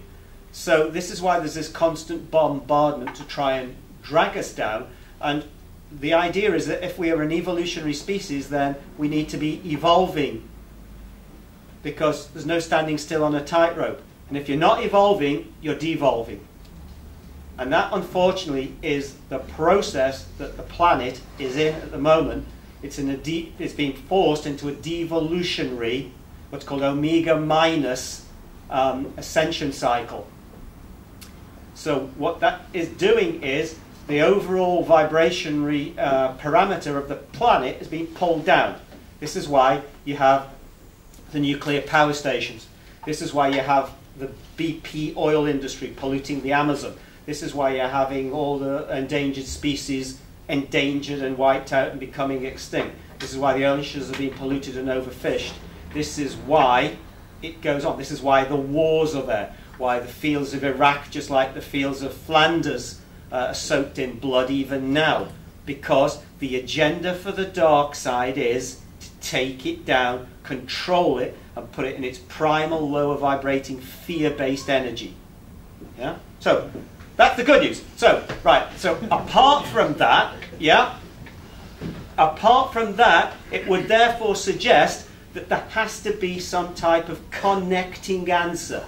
And this has been proved with this 100 monkey principle for people who've uh, studied psychology within primates, or where one monkey on an island in the middle of the Johor, uh, um, Sumatra Peninsula or wherever starts to crack a, uh, open a particular shellfish in a particular way, and then within a few weeks, the monkeys on the other island with no connectivity whatsoever actually start to copy the same type of behavior. So we are all connected, and our minds are all one, so this behavior pattern can work for the positive and it can work for the negative. It's just at the moment uh, we seem to be, uh, there's always that potential for becoming so disillusioned in this what's called learned helplessness with this constant bombardment of we can't do anything that prevails. And so we just drift on down the line and nothing happens and winter follows summer and Christmas comes again and then we're another five years down the line and we might be doing this when the next election comes. Or we might not even be allowed to go out the house and we have to do it on the internet then. And then that, that is a, a bit of a mess. So, one of the things the politicians have just been telling us in the lead up to the election, time and time again, is that the world is in an economic crisis, particularly since 2008. There is no money. Greek is the Greek government is uh, is driving through on these austerity measures. Um, all of Europe is a sick man now, and the British economy did better than than most.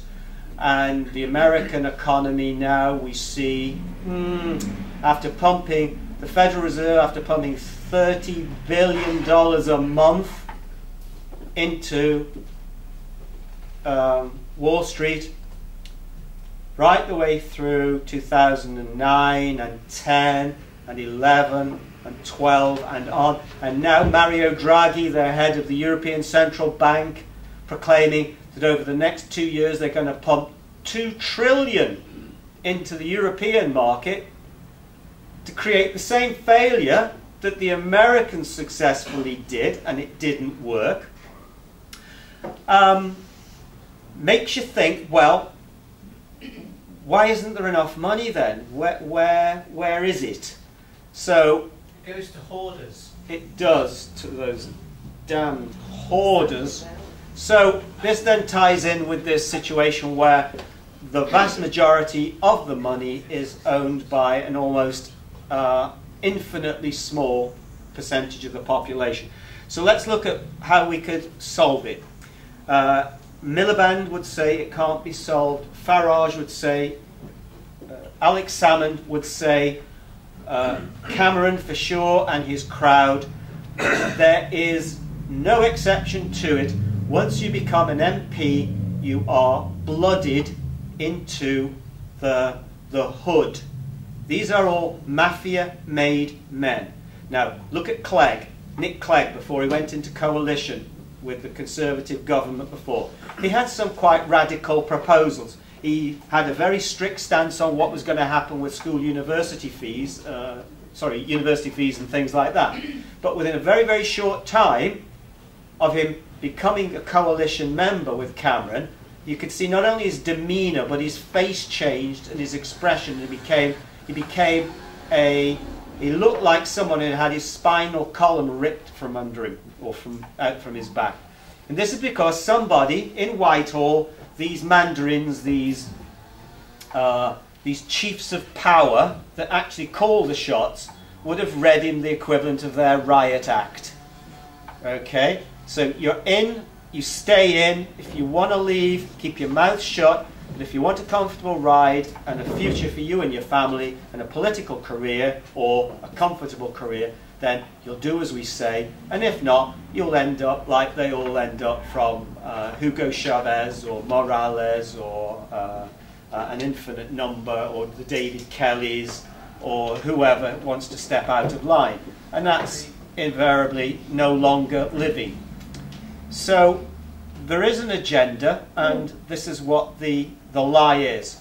So there's something called um, in the United States uh, a, financial ta- transaction tax that people have tried to, to bring to the fore. Um, some people call it the Robin Hood tax, um, supposedly taking from the rich and giving to the poor. But the bottom line here, whatever you want to call it, it has been rumoured um, that one or two people would like to be able to introduce it. Uh, WeRe Bank and the political side of this, this re, movement aspect, is something that this has been nailed firmly onto the wall with as a means to not only fund re-movement, but also to try and fund a government in waiting, which would be called, like say, a government de jure or de jure instead of de facto, so the government that's presently sitting in Westminster now would be called de facto because they're sitting there ostensibly ruling it. De yes, Monsignor. De jure is legal, facto is law. Is what, sorry? De facto is law. Is law, okay, so... Misleading concepts on de jure and de facto. Okay, right. So the government that are in Westminster now would be? A pseudo government. Okay, right. So we've got some semantic uh, things to iron out there. But the bottom line therefore is where would the money come from and how could it be raised? The, the amount that the HM Treasury or Revenue and Customs bring in over the course of a year is estimated or roughly to be about 640 billion. Okay? So just remember that 640 billion. The GDP for the UK, that's gross domestic product for all the, the goods and services, is about 3 trillion. Okay? So, when the government is saying they've got no money for the health service, could easily be fixed with a few billion. Okay, but somebody's supposedly got to pay for that, and it's got to be you because there's nowhere else for it to come from. Uh, when you look at all the taxes there, out there, there are 385 principal ones and then stretching into thousands of others. So even your indirect taxation at the street there when you pay for your car parking, etc., is a tax. It's a non-consensual one because it's been forced on you by a statutory instrument, but there it's a tax. So let's look at what could be done. Uh, and I'll quote some figures. Let's say we abolished every single tax that there is. PAYE, council tax, free parking could be had by everyone everywhere. There would be no self-assessment tax. There'd be no capital gains tax. Um, every any other taxes that anyone could think of. Tax. Income tax, which is a nice one, that could go.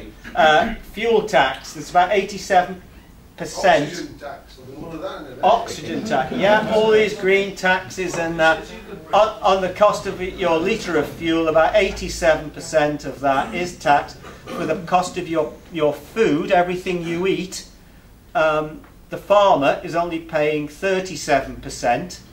But all that tractor time and pulling and harvesting, a great percentage of that is there. So you're taxed from the moment the farmer's trying to seed it from the people who are working with him who've got to pay the council tax, on and on and on and on. So as a rough estimate, if you take any product and I would say divide it, divide it by about a six or a seven, you have the, the, the cost of the article that it should be hitting you at.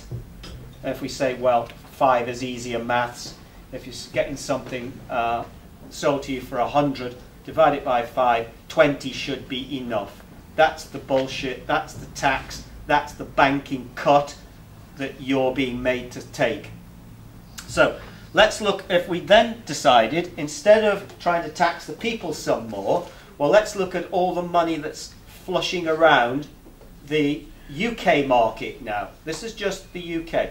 So this is looking at things like BACS, clearing system, CHAPS, uh, LCH, London Clearing, something called BarX, which is Barclays dedicated transaction thing.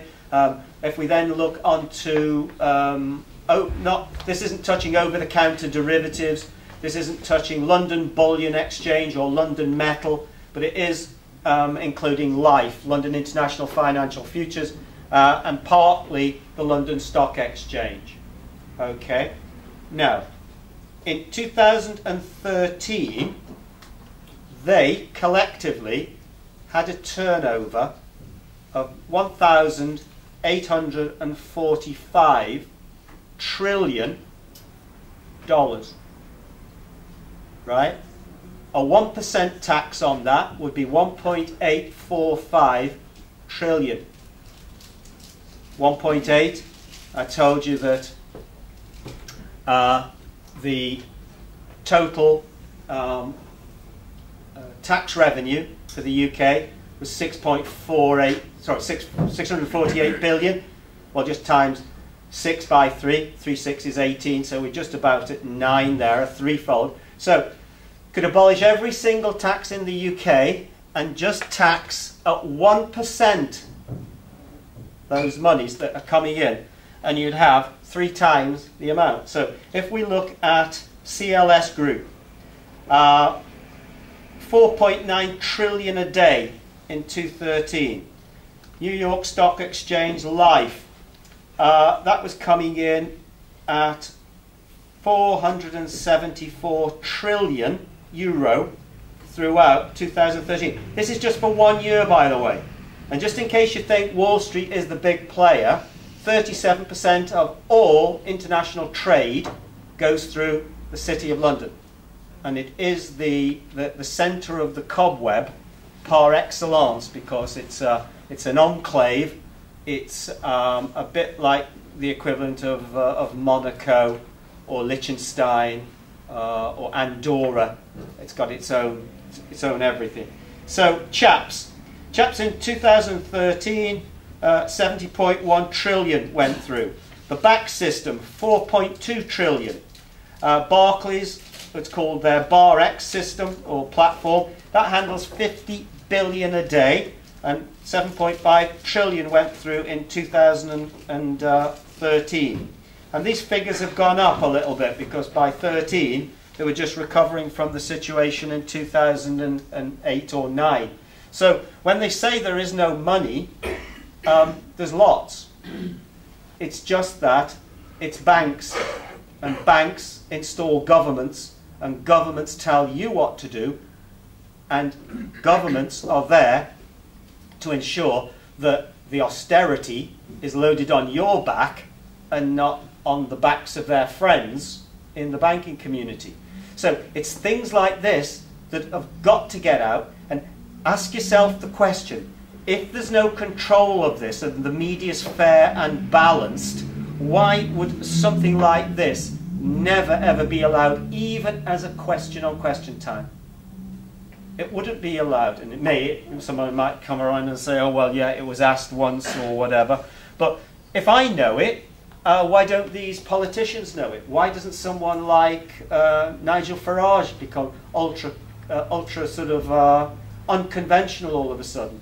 And start to say, well, this would be quite a good uh, proposal for us, or why doesn't some other party uh, mention it? So the fact of the matter is, there is more than enough. The figures are almost precise no matter what country you move in across the global platform. Um, and where this is all then controlled from is the Bank of International Settlements in Basel, Switzerland. And that's the central clearing bank of all central clearing banks. And that was set up on the back of, well, actually, it was in, in process uh, before something called the Bretton Woods Agreement, 1944. It's where we get this, this global currency model from, when in effect all the, all the global uh, gold supplies were, were hoovered up and put into a particular sanctuary so that uh, the, the rollout for the credit facility around the planet could take place. So the bottom line is there's a lot of money there and you don't have it. It's all what's called black screen and that means there are two separate accounting systems on the planet. There is the one that you all seem like in the matrix to live in front of and that's the screen that when you go in and ask for the loan, the computer says no or yes. Remember Little Britain? Computer says no. And you've got this, this world of ATM money and what they say is there. But the money that Tony Blair inherits as his thank you after his time in office, or that Cameron will be given, and that Thatcher and Dennis Thatcher and uh, how uh, Ted Heath, etc., get given, is facilitated uh, in a slightly different way. Uh, depending on how much they want him to have, then there's usually what's called a private placement platform arranged. And that's an investment project where that money might be traded overnight or it might be traded for a certain number of days. And so from behind the screen comes a substantial deposit of money into the account. So that comes from behind the screen, off account, into the bank. There is, that is traded or then left on deposit at a certain amount of interest until the interest rate is accumulated to the amount that they want him to have. And then the capital amount is then pulled in back from behind the, sc- back into, behind the screen and the interest bearing security from the global trust account and one of the signatories and key holders for that is Bill Dollar Bill Clinton, um, a Rhodes Scholar. Um, that's how that money aspect is, is, is generated. So the capital never gets touched.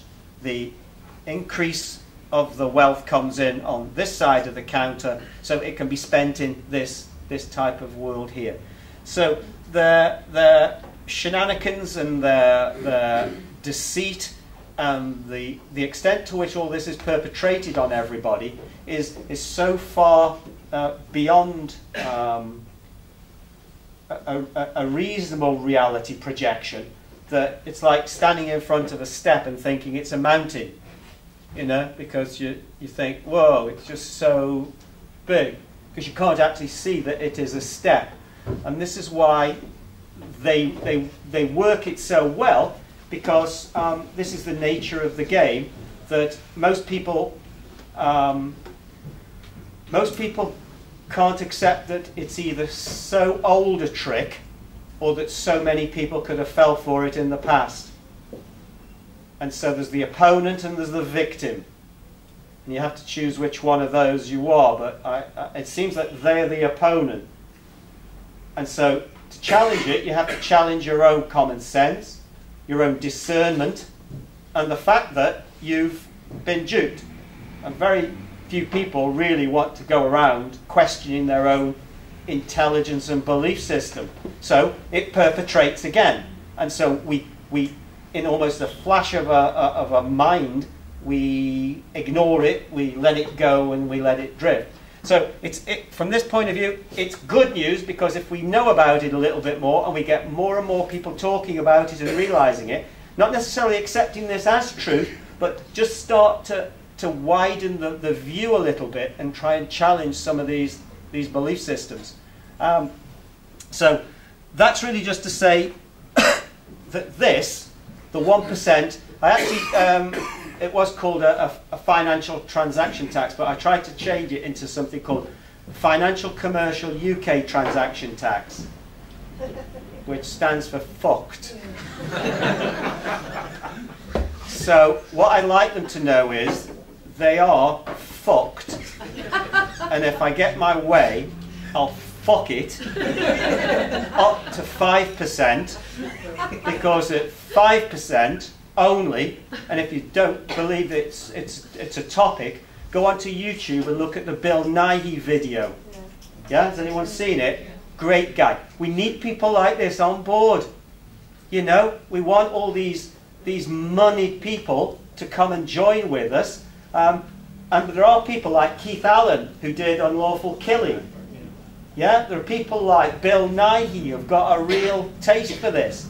We've got to start getting them in. What my, my plan is, before the end of the year, we want these meetings in football stadiums with 60,000 in, regional.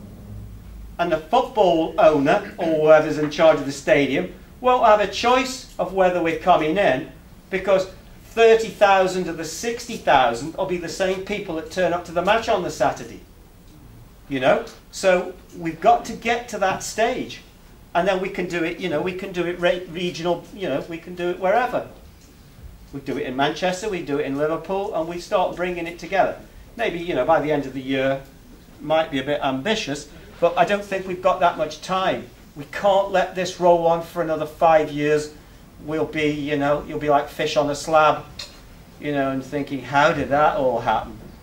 So, uh, what I'd say to you all, if you could just do me one thing, whether you believe in a God, whether you believe in a higher consciousness, whether you believe in an over self, or uh, I don't know, some type of energy, call it what you want, whatever you feel comfortable with. Sometime today, when you go, go, go home or in a quiet moment, just either offer a little bit of it to anyone in here or to what I want to try and do. But make sure you put it in a protective um, uh, conditioning because only if I am what I claim to be will it vest. And if I'm not, then there's a karmic consequence. And so that's the challenge to anyone that questions the integrity, um, oh, excuse me, uh, of what I'm trying to do. Because, uh, oh, so yeah, so it's, it's, it's, I'm quite passionate about it. Uh, I, I don't wish any of these people that I talk about any harm. Um, I, I'd shake Tony Blair by the hand, I'd shake Cameron by the hand, I'd shake them all by the hand.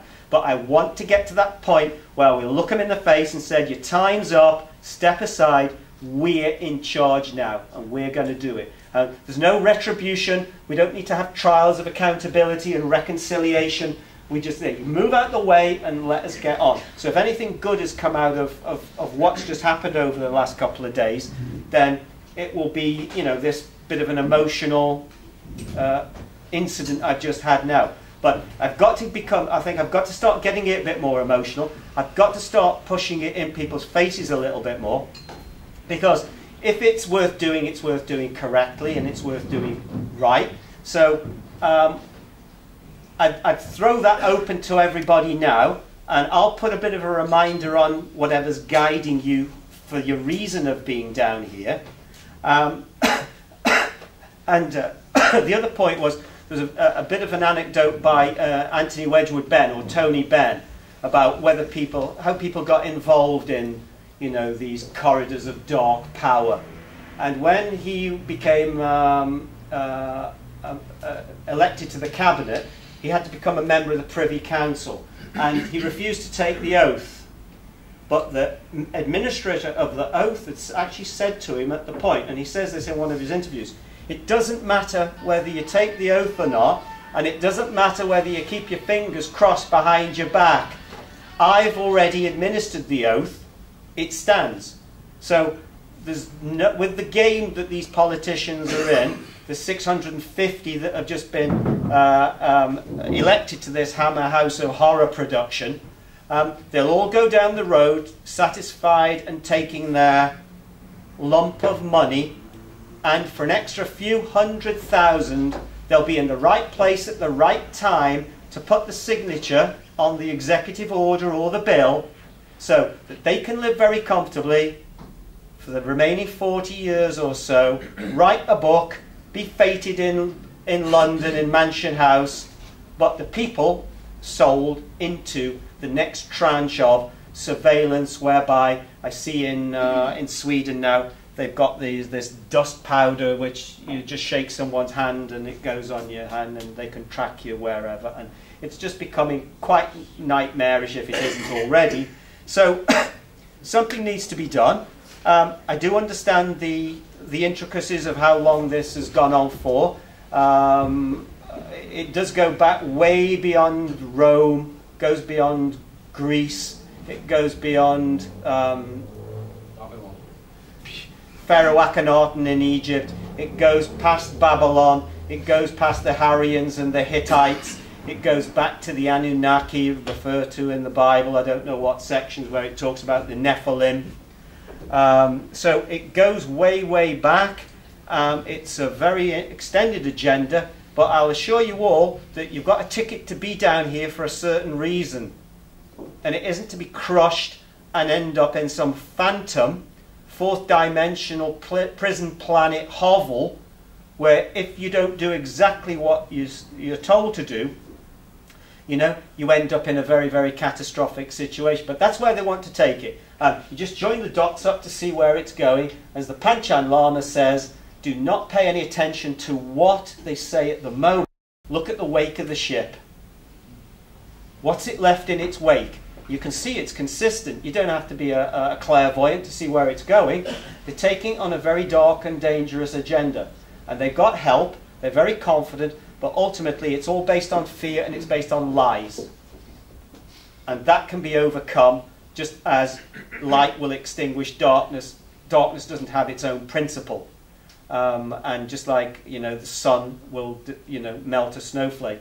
So I think that's probably about it for now. And uh, there's not that much more to cover, but we've covered quite extensive amount. So what I'll do now is I'll just say thank you for listening, and we'll get more passionate about it. Passionate about it. Wherever you go, just be a defender if you believe in what I've said now, that it can be done. And I want all these groups to come together. I put the proposal to Roger Hayes some time ago. I put it to Simon Spaniard. Uh, I've put it to various other people I spoke to. I was doing this in 2012. If we don't work together, if we don't come together as a group and forget the separate identities and our road shows, it's not going to go anywhere and it'll fail just like all these others because this is proven here. Now, this final point, it's a good one. What you've got is me trying to do this little project. In total, it's probably brought in over the course of, it launched, the first checkbooks went out on the 17th. Do the maths, there's about 250 joined. Some have had uh, memberships, some have taken checkbooks. There's been about 9,000 brought in. And for that, I've virtually been ripped apart I had the bank account closed, PayPal closed, the website's down. How many bankers have been prosecuted in the, you know, in, since 2008? But none, if, if none. Icelandic ones.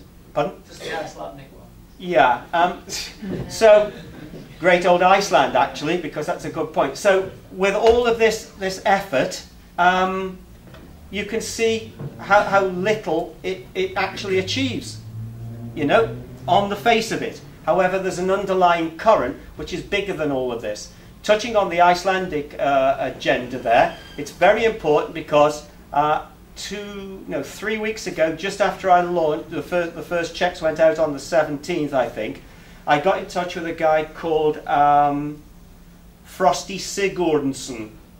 Nice name for a guy from Iceland, Frosty and he wrote, wrote a book on monetary reform, uh, not a book, uh, a, a briefing document for a guy, the president of Iceland, called, um, the president is called, I think it's Olaf Grimsson. And the president of Iceland has done a very important thing. He's put the policy document, and they're promising what they're doing is kicking the private and commercial banks out of Iceland because he states that Iceland has a long, long history of social homogeneity, no unrest, um, good employment, and it was a very happy and carefree society until 2008, when it all went wrong. And what it entailed is that every man, woman, and child of the 324,000 around inhabitants of Iceland owed over $400,000 each through no fault of their own because of the lending practices of the private Rothschild controlled banking cartel running out of Iceland. And this is why all these public authorities had bought into the deal and why they were all being quoted 14, 15%, and Stoke-on-Trent City Council being probably as stupid as a donkey's back legs. They actually went in big time thinking they could clear whatever debts they, they were suffering, but ended up in a worse situation. And so what he said is in 2008 they were Exhibit A in the, the, global, um, the global arena um, of how not to behave. But he says the democracy had to rule. The people marched on Parliament. They were threatening to burn it down. The police, instead of confronting, turned and joined with them.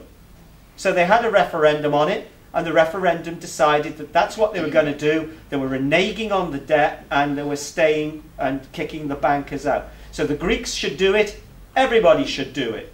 Um, and it would work, because he says now unemployment is down, um, cost of living is normalized, everything's gone back to how it probably should have done for the hundreds of years before until these parasitic uh, infestations, these bankers get into you. And if a parasite's in your system, you're going to have to get it out.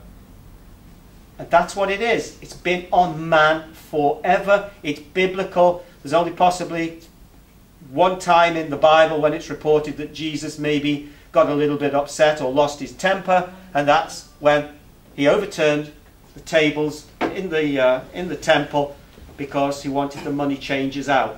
Um, so it's got to change. It's an energy thing, and we've got to try and change it. So let's get, you know, let's get on with it, and let's. What we will possibly start needing to do is, as mentioned before, every time we've got a meeting, we've got to have more every time. It's got to be so we can't get in, and so we go to the next one. And then we've got to get bigger and bigger, and then the group that's meeting over in Manchester or whoever's formulating that, we get to a stage where we, we're growing it. So we've got to become an organic organism and grow it out as well. And, uh, and then we can all have some peace and then spend whatever we, we need to. Uh, but there's more than enough. Um, we haven't even really touched on the global collateral accounts. Anybody's heard of um, uh, Neil Keenan? Maybe look Yeah. at some of his work. Sometimes people say, oh, well, I'm, I'm not so sure. Uh, Karen Hudes, yeah, I've had some interesting conversations with Karen, and she wouldn't work, you know, she didn't want to support us when I was trying to put this together. Um, and so there's some very interesting people there that are all sniffing around and saying the same thing that there is money, it's available, it's yours. Very finally, on that point, the promissory note, some people have said this is just an example of some that we can create. The promissory notes are really what's your, in effect, your promise to pay. There are two amounts of currency. There's 150,000 quoted on there in sterling or 148,000 re. Okay. Now, the re uh, symbol is also possibly, um, yeah, we'll talk about that after. But we're looking at someone, say, that's earning £20,000 a year as a normal, uh, as, a, as a, a, working individual, whether he's a tradesman or whether he's working in a, uh, a council office, it doesn't matter. That 20,000 a year that he's earning over 10,000 years would amount to 200,000, easily an amount sufficient to pay down the promissory note.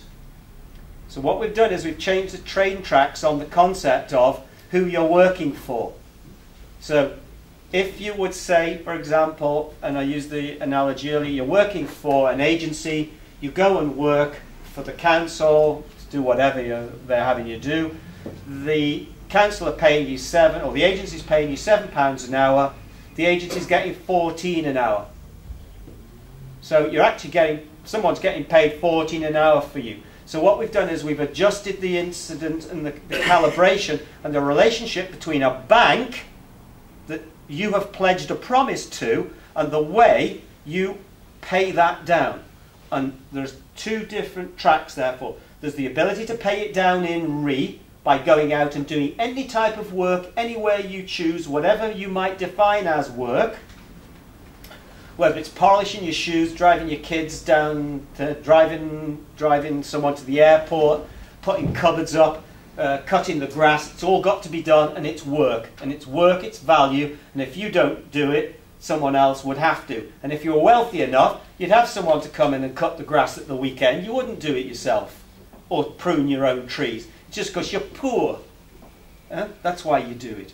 So not only can you pay it down with the re-units, but we'll allow you then to credit your actual working energy to paying down the promissory note and keeping the money. We don't want the money. You keep it, but we'll credit it against because we say you should be earning more. And if anyone wants to put their hand up and think, say, yeah, no, I think I'm actually getting paid what I'm worth, then you know maybe go and join someone else because you know we want to be more kind with you. What we can also look at for people who are a little bit aged and wanting to come in, they look at the scenario. Well, there's no way I'll ever be able to pay it down. I like the idea of this promissory note thing, but I don't quite understand it. But I'm 75. There's no way I can pay it down. Well, how long have you been working before you retired? Um, okay, 25, 35 years. Uh, do you think you were paid what you were worth? Mm, maybe no, no, and yeah, and all this time, and I was made un unemployed, and all of this. Right. Well, let's look at the historical perspective, and let's go back then and say, well, look, if there's any precedent for this, Miss Sol PPI, uh, repatriation after the First World War that the Germans had to pay, uh, the Treaty of Versailles, the supposed readjustment for injustices of the past where you should have been paid. Look at the Nazi uh, concentration, the Jewish um, Nazi concentration victims, where they eventually took on the, not so much the German government for, for actual payments, but the Swiss banks. So it does have a precedent, and it does have an accepted quantifiable structure. So why don't we look a little bit back and say, well, we actually think you should have been earning a lot more. And we don't have to stop there. We can also go, well, what about what your parents should have been earning? And look at all the people who died in, you know, in poverty and hunger and didn't have enough to eat or couldn't put, you know, electric on, etc. So there's a social aspect to it that says if you're the, the last electrons on the head of the needle now, then the planetary inheritance is yours. You know, and the same to be said for the people in Indonesia and in South America and, and wherever they are. That's it. Everything that's ever been created is your inheritance and it's there now. And look how much you've got of it. You know, be lucky if we if we all tipped each other on our bloody heads now, we could put a thousand quid together in the room. So it's not right. So but apart from that I don't really have much of an opinion on anything. You know, so don't quote me on any of it. Peter, the turning back for Iceland was when the police turned round and supported the people. That was the turning Yeah. round. Yeah. How do we, I mean, with all this G4S that's coming through and all these Mossad trained new officers that's been coming through the ranks, how do we get the police on our side? Because it is all about education, isn't it? And Yeah. we've got the army as well. If we could get the army and the police to educate it to what all this is about, they might turn. Well, it's a very good question. and It's it's not one I, I I don't have a, a ready answer to it. Um, I think the only way it will it will probably come is either we get to sufficient numbers. That's always a, a consideration, and then the the uh, that's probably the only way I can think of. Otherwise. Uh, yeah, it's a very good question because if I thought there was an easier way through it, um, I, did would do it. And yeah, I was just going to say, I, I did receive, um, I had a conversation with somebody last year who was in ex-military, and he was telling me that there is um, some people somewhere, and I, I led to believe it was Australia, um, that was gathering um, a behind-the-scenes military together with all these arrest warrants. Yeah, And on in January, they were going to go out and just go around and just arresting all these people. Yeah. And, and I thought, well, that's a bit far-fetched, isn't it? It sounds like a movie. And Hmm. obviously nothing happened. But, they, but he was telling me that there are so many people trapped inside these systems. Yeah. And they all want out. Yeah. And they can't get out. Okay, well, So- that's, if we could just address that point, I would say there's probably about 300 reasonably old men and women uh, running the show. And so we're all, in effect, being told what to do, how to eat, what to drink from a, a- a series of cascading, uh, cascading system of orders. Um, it's, it's almost like uh, uh, yeah, whatever would radiate out from a web. And all these areas are quite, uh, you know, uh, mutually independent. And people say, oh, people can't keep secrets. Well, these can keep secrets very well. We put together in this room here, within, and we had to decide what the colour of the walls are and the ceiling. There'd be fighting, and we'd be, we, half of them would run out, the women would all go and make tea, and we'd all decide by 10 o'clock tonight it was irreconcilable and it couldn't be done.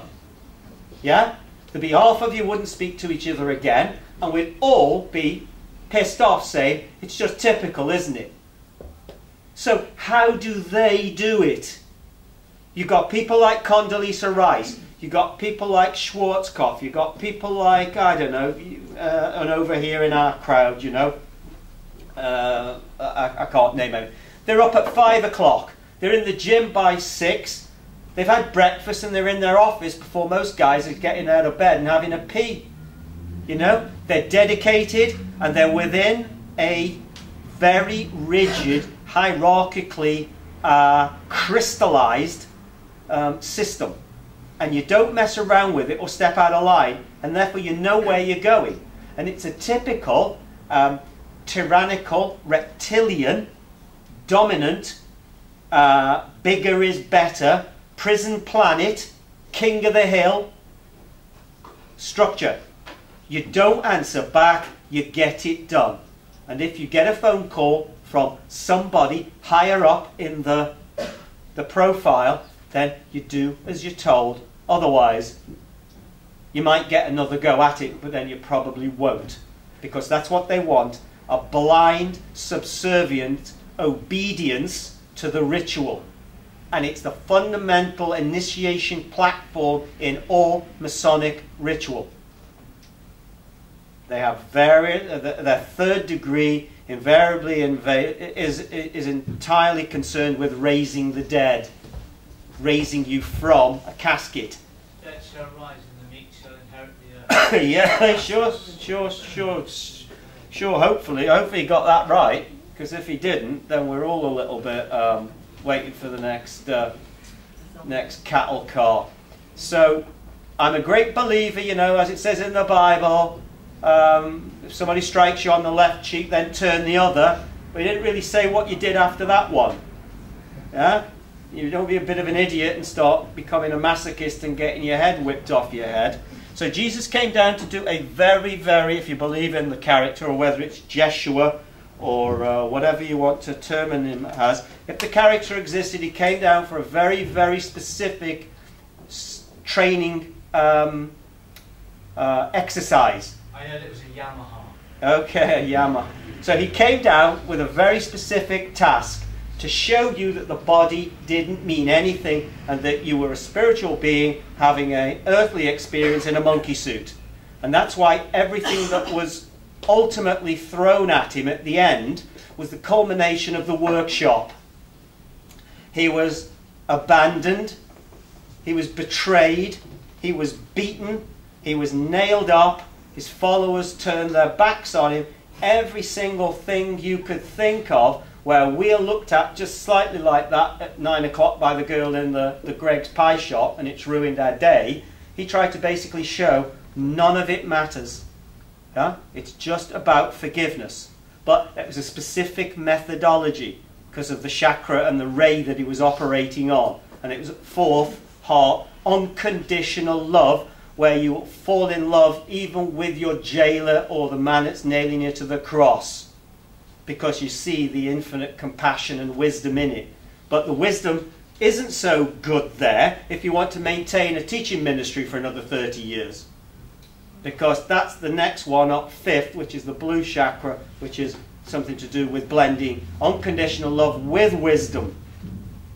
Right? So he was down for a very specific mission. So when people start, you know, we've got to make sure that, you know, it all evolves here because we don't want to get locked into a 2,000 year old mindset that was written 600 years after the, the characters had all disappeared off the stage. So, lots to talk about. That's good. Thank you. Uh, we're going to do some questions now. Uh, a few more questions, did we say? So, thank you. Right, yeah, uh, anyone? Keep- keep- How speak up, do we Luke. join uh, the We Are Band now? Uh, I Okay. tried last week after meeting you in Yeah, Nottingham. so it's a very good question. The question is, how do we join WeRe Bank now? Um, hopefully, the website will be back online um, early this week, and we'll find out for sure why it went off. Um, and so, for now, what I propose is that people will wait for the website to come back online, um, and then PayPal is not going to be an option. The banking system can't be an option. Uh, and so, in a way, there's some type of reverse irony there. Um, and we might be say we give them a round of applause because if we're setting up to do what we're proposing to do and still relying on them to play ball with us, then yeah, I think yeah, I could say I was being like triple naive. So what we will have to move is to an alternative payment system somehow, or it'll have to be done by uh, meetings with collections, like it was done in the old day, like when the rent man used to come around knocking on your door every second Friday, and you used to hide behind the curtains and pretend you weren't in. I don't want to go through anything that's that's uh, that's a, uh, usually on, on regulated on the internet, because I find I, I, I believe truly that it's the work of the devil himself. It's flat pack IKEA, extraterrestrial technology delivered to Bill Gates and his gang to furnish the agenda, and there was a halcyon or a golden period that you passed through when everything looked like, hey, I can find out anything. But now you can find out nothing. And within 30 seconds, if you're going to look for something, you can't even remember what the question was that you were looking for in the first place. So I think it's set up to do its job very well, and it also eradicates the, the domain of the wise person that you would turn to for advice. Now, you say something, everybody goes on the internet and goes, I heard it's blue. Or it isn't like that at all, I've been told. And this is why you have this bias within the journalism on the pretense that they're giving fair and unbiased reporting. No one wants fair and unbiased reporting in any type of teaching that they're ever given. They want the teacher to tell them how it is. Not, well, we've been told that if you walk down there, you can go there, and we've been told here. So at the end, the person's gone, yeah, but what's right? So it fractionates your mindset straight the way down, and you don't know. That's why everybody's people don't know anymore. They have no idea whether it's left, right, or up and down. So just to finish off on that, uh, it'll either be an alternative, or we are looking now to move it to the next level. With anybody seen the Love Guru, Mike Myers, Toronto Maple Leafs, someone out there. What he does is initially he tells the guy he's trying to, to cure, um, under no conditions sign these things without um, having produced a promissory note and having the checkbook, but we may look to up it where we make it available as a PDF and we have everybody sign everything for anything. So we basically, people empower it even more because the only thing that's the restriction is where the funds come from. And touching on what uh, June said before about the so-called theories of who's going to be arrested and will it ever come a day of accounting, um, there are for sure very powerful groups of individuals out there who are just waiting in, in, in the background to, to move on these things. and it's all like who's going to who's going to try and go for the king first. And when that happens, yeah, so what this is in part done is to stimulate a global discussion on it, um, because whether you realize it or not, it's, it's gone reasonably global. The checkbooks have gone out everywhere. People are passing them in California as much as in Ontario. Um, people are passing these checks out over here. All the banking communities say, what are they? What shall we do with them? They can ignore them and put them anywhere, but they're still there. It hasn't gone away, and as long as it's still got the presence, then we need to then take it onto this next level where we start to say, right, this is the agenda because it's not not thought out. There's a lot of dimensional activity going on with it as well. So there's the where's the wealth come from? First start with the people. Let the people come in and create their own keys and see if they'll open the door for themselves. Once you've actually knocked on the window, it lets the higher authority come in and say, hey, they're actually trying to help themselves for the first time in God knows how long. We'll now come in and aid even more. So why don't we now, you know, we'll ease up. We'll put WD-40 on the stuff that would never move, and we'll. Because uh, there's no rescue mission, there's no ETs going to come unless it's done with holographic insert technology wrapped into your, your perceptual reality fields you're going to have to do it yourself. And the reason you have to do it yourself, because if you got rescued, you could always call foul or throw down the flag and go, yeah, but I know it was bad, but I didn't really intend for you to come and rescue me. You ruined my game. So the nature of the soul is that you've come down here to experience. If you're all part of unity, which you have to be, then you must be part of God. Therefore, you must be God. There's no separation. There's unity consciousness. Everything has to come from somewhere. So whether we all end up as a ball of whatever, it's one ball. It's not 500 of them.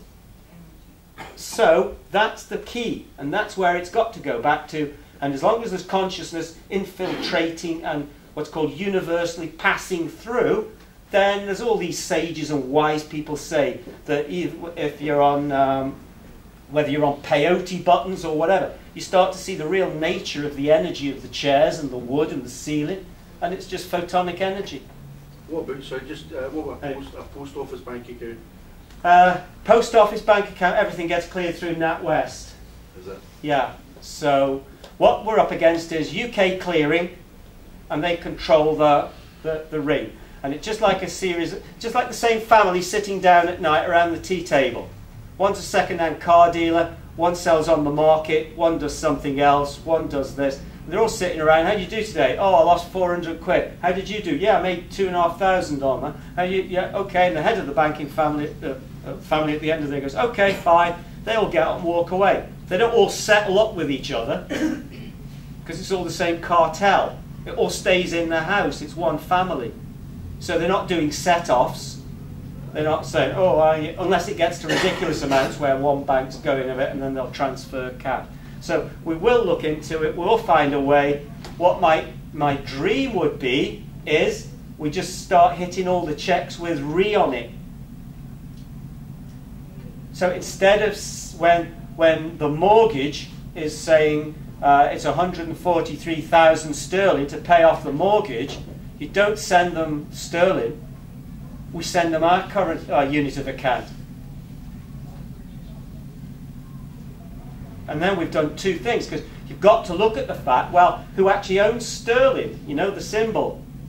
Just because, just for people out there, the, these symbols, the pound with the two lines through, the yen, two lines through, euro, two lines through, dollar, two lines through. Who lives next door to number 10? Number 11, double entry bookkeeping. It's called Zionist Kabbalistic numerology, Solomonic uh, numerology. It's double male energy, twin towers. Uh, so just trust me on that. So Solomonic Kabbalistic numerology is what the double entry bookkeeping system is in, in, involved, and why you've got the, the eight eights as a trust bank uh, account on the checks is 88 to 64, 64 squares on a checkboard, um, 64 square acres in a square mile, City of London, square mile, Washington, DC area, 10 times that area, 64 codons within human DNA. So there's a lot of thought and stuff gone into this, and it's big, uh, except it doesn't sometimes see it. It looks like, if you listen to the people on the internet, some, some scam artist trying to get 10 quid off people that if he then turns up, they're not going to kill him. Doesn't, you know, nothing stacks up yet, you know, uh, it, it's just, it's just a nonsense. So, um, whatever the question was, that might Money have- we're receiving the payments, how do we make payments? Yeah, so for now, um, it was never, sorry, it was never about money, apart from it is about money. It's not about me making money, yeah? Uh, I live very frugally. Um, I've got borrowed shoes, and I always say the same thing, so excuse me. Uh, I don't have uh, major overheads. I don't have my own car. I don't have my own house. I don't have my own bank account now. Um, not that there was much in. Um, so there was there's, there's not a desire for me to aggrandize myself.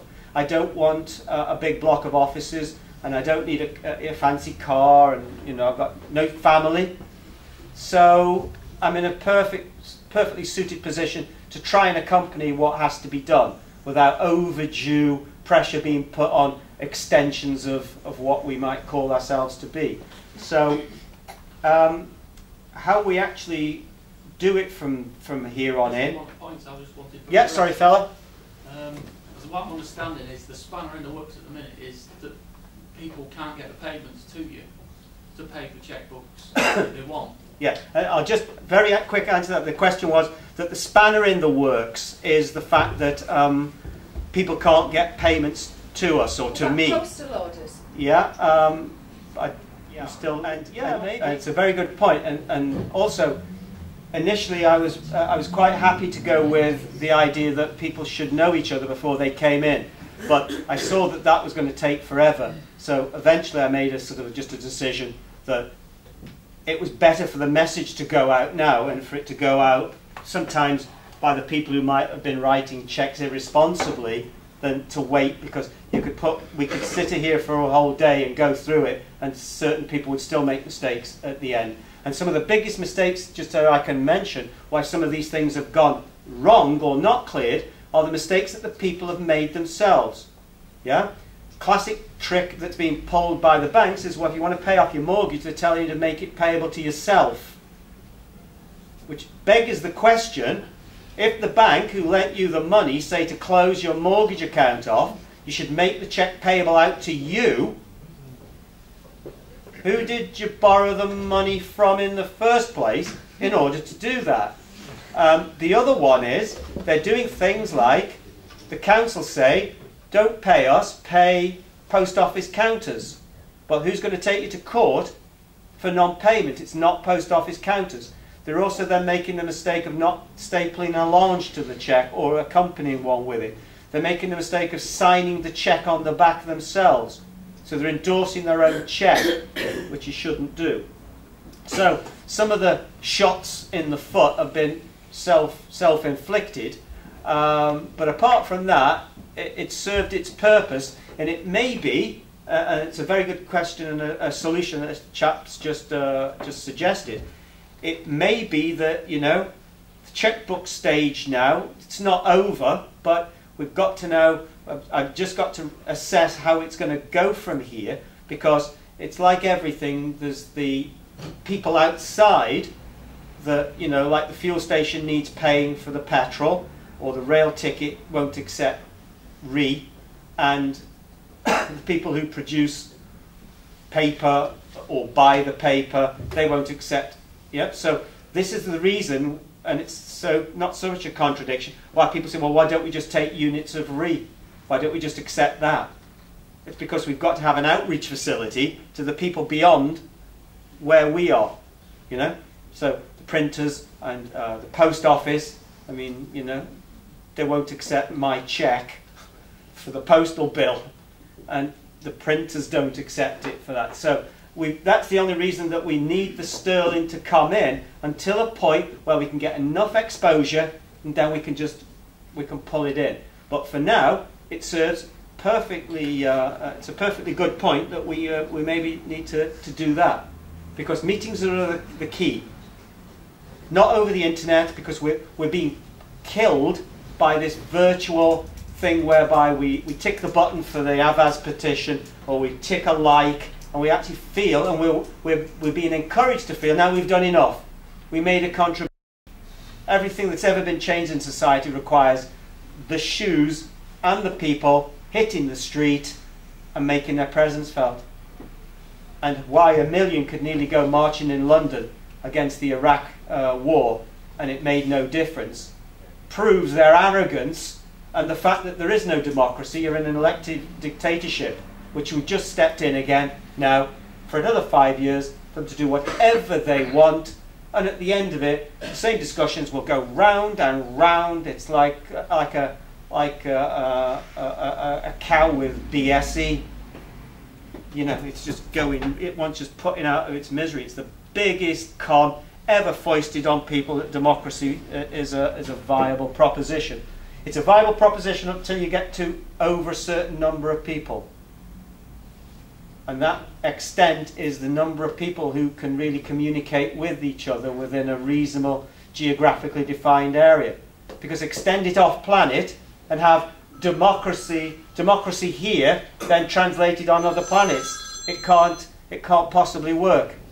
So you ban the colour blue down here because you just don't like it, and all those beings up on these other planets within the Confederation, they love blue. You know, they're blue. They're actually blue. I was going to say, because the, the Ashton might be here, I mean, we'll, we'll sort of know each other. This would be a really good way we, we could be collecting money and distributing the distributing the, uh, uh, the, the checkbooks from, from here because we know each other Yeah, personally. yeah. So, So the only the only consideration then is now just after I've got my breath because I've had a I, I get I give myself a cold and I have stress. And I've tried everything uh, to, to combat it, but that's what I do. I'm very good at it. I've got it down to a fine art. It always starts the same and ends the same. so, huh. so uh, when I've got this this next few days sorted out, we'll we'll we'll see how it's uh, it's going. Um, I think I might be moving uh, from where I am, and by the time this goes out, then I probably was already moved. Um, that's because uh, of the place I'm living. I can't really expose. These are normal people, you know. I mean, they wouldn't come to a meeting like this. They're very good, sort of the earth, normal people.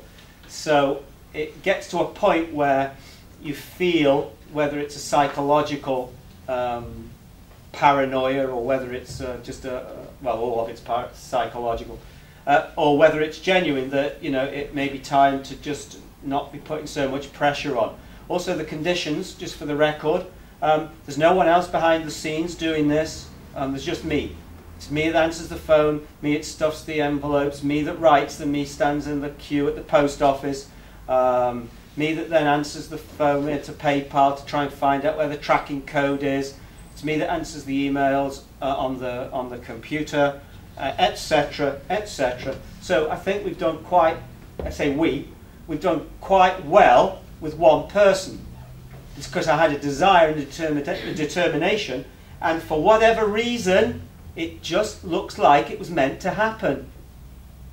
And we now let's just look at it if it hadn't have been taken off offline for a moment, getting to 25 to 35 people a day and up, all consistently making the same mistake. It's quite phenomenal. So it proves there's an appetite, it proves it's right. Um, whether it's £10 to join or one really wouldn't matter the idea between the, behind the 10 is to bring in a structured organization which restores, for the moment, the integrity and the, the, the, the mental recognition of the individual that his work energy is all that counts. Don't go to the bank for an extra loan. If necessary, withdraw your energy from the workplace. So it's like a workers' cooperative or a reunion. Call it what you want. Are you aware of the word dignity, as your definition is human value? Mm-hmm. That's Yeah. why it's used that word. Yeah. Um, so that's what we're, we're trying to present to people to show that you are it. It's you that keeps the wheels on the clown car. Um, you, you know, you deliver their pizzas. You drive the taxis. You teach their children. Uh, you know, you drive their ambulances. You look after them in the hospitals. It's just you, you, you, you, and so few of them you know so it's got to it's it, you've got to just, we've got to start proving that you know we've got a, a, a entitlement I'd just like to ask you one thing. This gentleman put forward a very valid point about the system of Amway, which is a multi-level marketing system. It would work so well for what you're trying to achieve. Yeah. However, you are going, you said something to me earlier, I won't say what you said to me earlier, but what you said to me earlier was, you need to be able to find key people, key groups that you can work with, um, and let them do it. Yeah. Because right now, you're a one-man entity trying to wear all the hats. Yeah. Now, this is why you keep getting poorly. So you're going to have to just let Poorly? go a bit. Poorly. I like that. as we say. No, I like that. That's what we So say. you really need to just maybe step out of your um, Delegation. your zone, yeah, Yeah. and learn Yeah. to delegate a bit, but Yeah. it will have to be. Okay, all raise your right hand. You're all sworn in because because and this is the ultimate um, deflator of all the people that criticise this. If you look at the master PDF and if you look at the, the small PDF that used to be there available on the on the screen and will be again soon, the whole idea about this is everybody sets them up locally and then regionally. So, and the biggest, uh, and and here's the ultimate thing no matter what we do with it, if we get it right and it's already must be right at the conception, because you have to, you have to visualize the conception before you get to the conception and the birth. So it was all done when it was done. And the idea is that we don't need any security on it.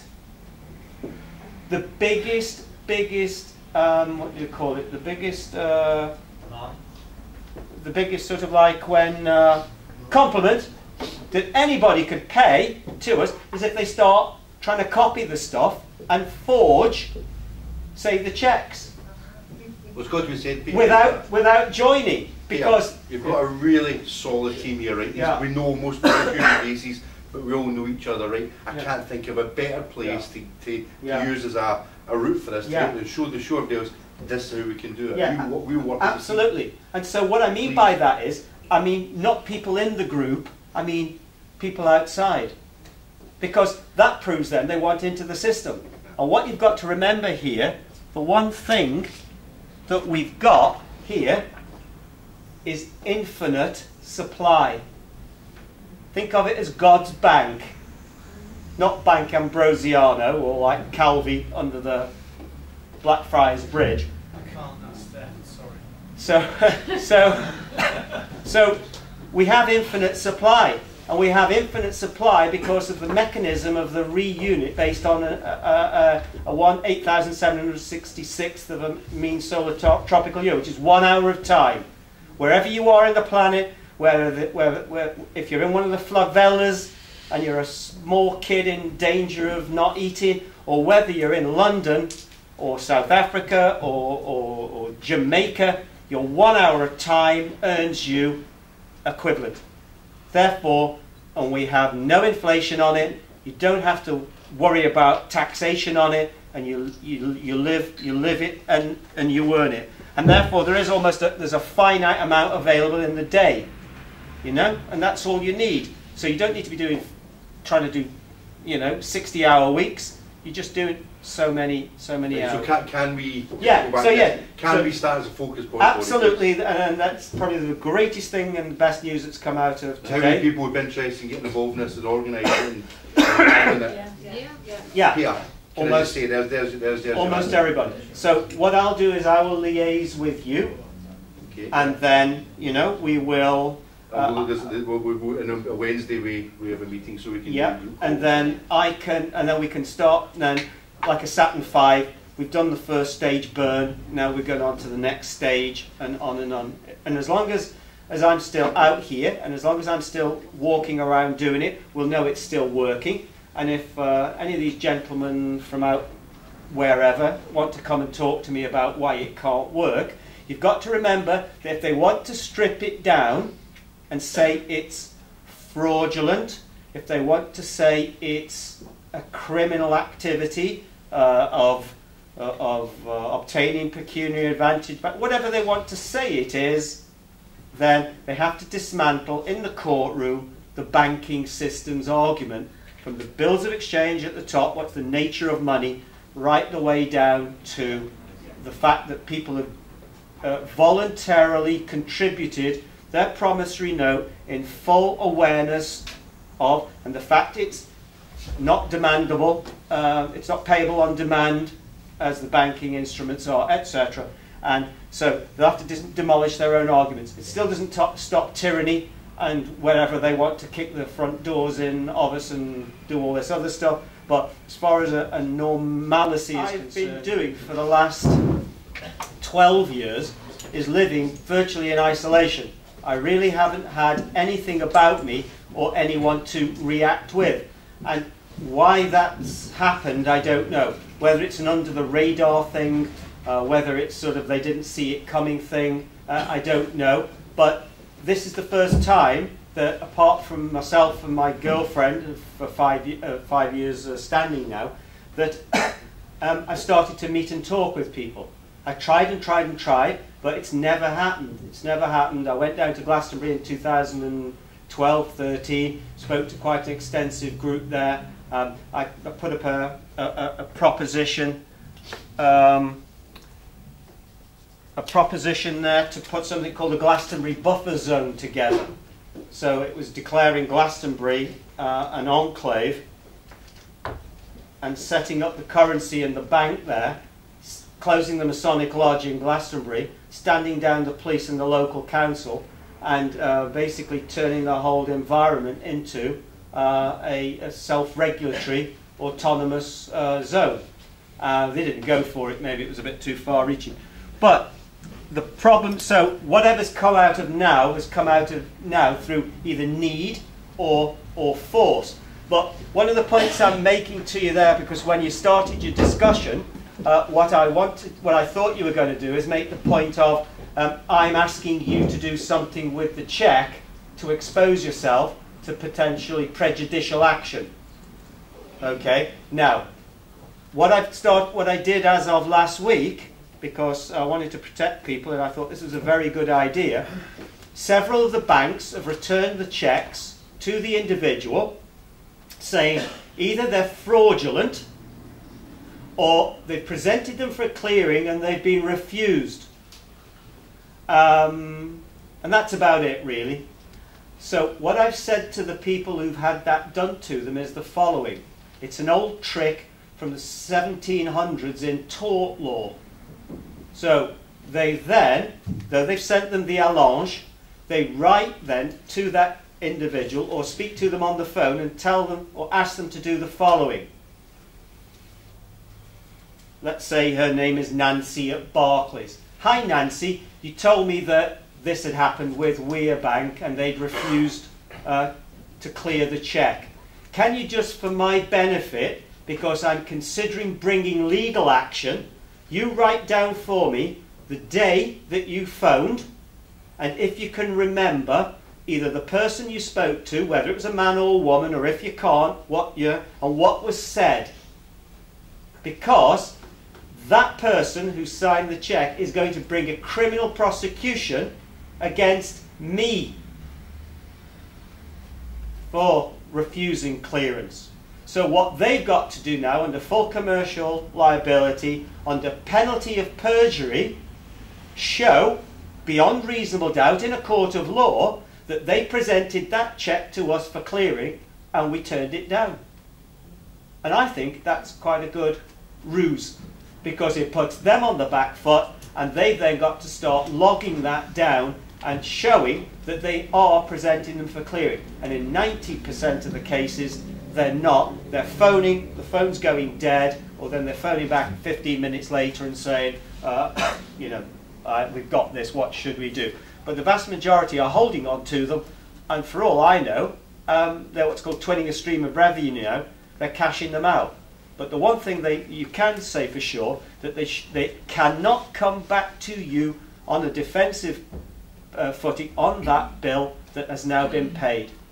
And if they haven't submitted it to us, then that's the, the, the, end. And just so that you know, with the notarial protest, why it's necessary to do that, it's like playing with your mate in a game of uh, tennis on the, on the tennis court. And you're just having a good a game, but you don't know whether you're serious or not. And he hits the ball long, but you don't call it out. And you hit it back, and then when he wins the point, he said, Oh, it was out five ago, I'll let it run. Oh, well, you know, you should have called it, and you didn't, so the game of tennis continues. So if you don't make that notarial protest, it doesn't sort of um, cauterize uh, the, the bleeding on the, on the yeah. How many people here have had checks returned? Or what did yours say, fella? Uh, as check invalid. Invalid. Right. Is the check with it? It's, yeah. Okay. And is there anything written on the check? Uh, no. Oh. Okay. It's not signed on the back? No. Okay. So invalid. Right. So what invalid means? Invalid. Yeah, but what they mean probably in just uh, their part or uh, in, in their discussion, the sort code isn't recognised. Okay, so what happens with that check? Who was it payable to? Uh, British Gas. So it goes to British Gas. British Gas, their clearing account, let's say, is with Barclays. It goes off to Barclays. Barclays are already now probably looking at it and going, right, okay, yeah, we've seen some of these. But let's say it was the first week and they hadn't seen them. Uh, they'd send that up to UK clearing. It goes just like the letters in the, in the post office goes through these machines and it flag it and kick it out because the sort code isn't recognized. Right, but that doesn't matter because their responsibility is to find the bank on which it's drawn. Yeah? So you drew the check, the drawer, WeRe Bank is the drawee, and who you've given the check to, um, who was it again? British Gas. British Gas is the payee, right? So it's the obligation now of the clearing bank to find out where's the money. Who's it? it says where the money is. It says WeRe Bank and there's an address. And there's even a phone number. So the phone number is there to comply with this deregulation of the Bills of Exchange Act. Or they can send it, which maybe they don't want to do, but there are other means. So we're still in honour because they have just kicked it back to you, and I assure you if they'd have got in touch and spoken, we would have said, it's cleared. So they're only kicking it out. What invalid means is, could be anything invalid. Just say you hadn't put a signature on. Then you send it back with the signature on, and it still comes back invalid. And you think, well, hang on, I've just done that. So invalid means a whole different number of things. Uh, when they send them back from Virgin Media, which they have, there's about five different or seven different boxes. Uh, check not signed, check outdated, invalid sort code, all various different things that they can then um, tick. So, did you send that protest? Uh, All right. So just do that notarial protest, um, and uh, that that will be it. If you want, you could send the check back to them um, on on the basis that um, you have spoken to the bank and they say that they haven't presented it for clearing. Um, and there was there will be a there'll be a fax number available by uh, by Tuesday morning, so they can just fax them in. Okay. Yes, gentlemen. How long uh, can they keep it in clearing? Like there's a six-day rule. Yeah, if you look at there was a small video on the uh, on the site. There's uh, uh, there's a two-day, there's a four, there's a six, and after six the funds are in the account, and by the sixth day, the money can't be taken back out of the account. Right. So 10 days, everything is free, it says, and the money is yours to keep.